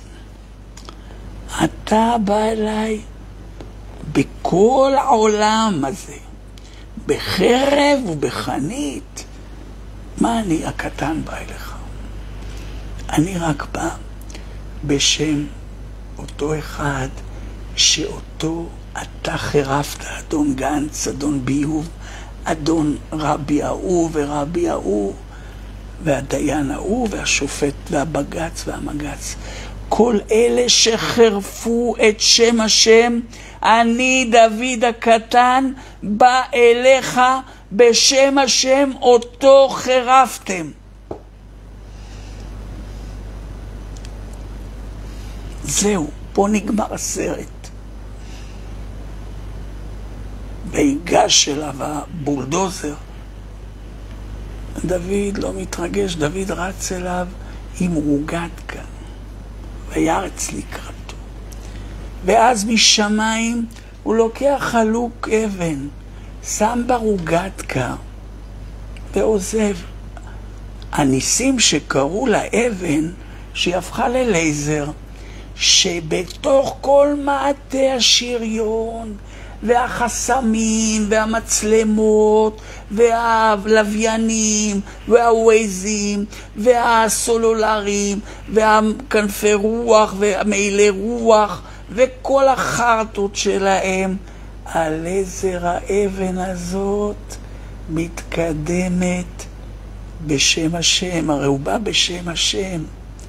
אותו חירפת, אותו אתם חירפתם. כל הבג"ץ, כל בתי המשפט, כל הצדיקי למד, כל הממשל, כל הציונים, כל הציונות, כל החרטות, כל הרוטשילדים, כל הבבונים, כל האילומינצים, נגד כולכם עומד ילד קטן. עם אבן. אם אתה ואת מאמינה שאפשר, אז הכל אפשרי. הכל אפשרי. תלמד מדוד המלך. תגיע להר ציון. למה בראש חודש? בראש חודש, בכלל אדר ב', פעם במיליארד שנה. זה החודש הזה. אתה עולה להר ציון, אתה, דוד המלך הרי נמצא שם, הרוח שלו שם לא זזה. הוא רואה אותך, הזמנתי אותך, מחבק אותך, מחבק אותך. תלמדו מדוד. דוד הוא המשיח. מה יש לך לחשוב בכלל? איך אתה חושב לא להגיע? איך את חושבת לא להגיע? זה הצ'אנס האחרון, לך תדע אם עוד יהיו. אתם יודעים מה הולך להיות בעולם? אתם לא יודעים כלום. אז מי שלא מגיע, הוא לא חלק. אין לו חלק. מה אני אעשה? הפסיד. תזכרו, עם דוד המלך הולכים עם סנדלים ועם חצאית של נער ועם רוגטקה. עם אבן קטנה, חמש אבני חלוקי נחל. שכל אבן, אם אתה מאמין בדיוק כמו שהקדוש ברוך הוא מחזיק את רבי חנינה בן דוסה, שיכול לשנות את כל העולם בהבל פיו.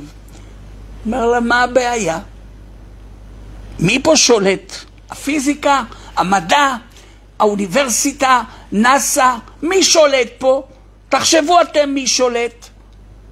אם אתה מבין שרק מה שרבי חנינה בן דוסה הבין, אז אתה חנינה בעצמך. ואנחנו מקבלים חנינה. אז מה החנינה? שיש פה רק אחד. ואין עוד מבלעדו כלום עם שום דבר. הבנת? הבנת? אין עוד מלבדו. כל יום תגיד, אין עוד מלבדו. אין. לאן יש לך לברוח?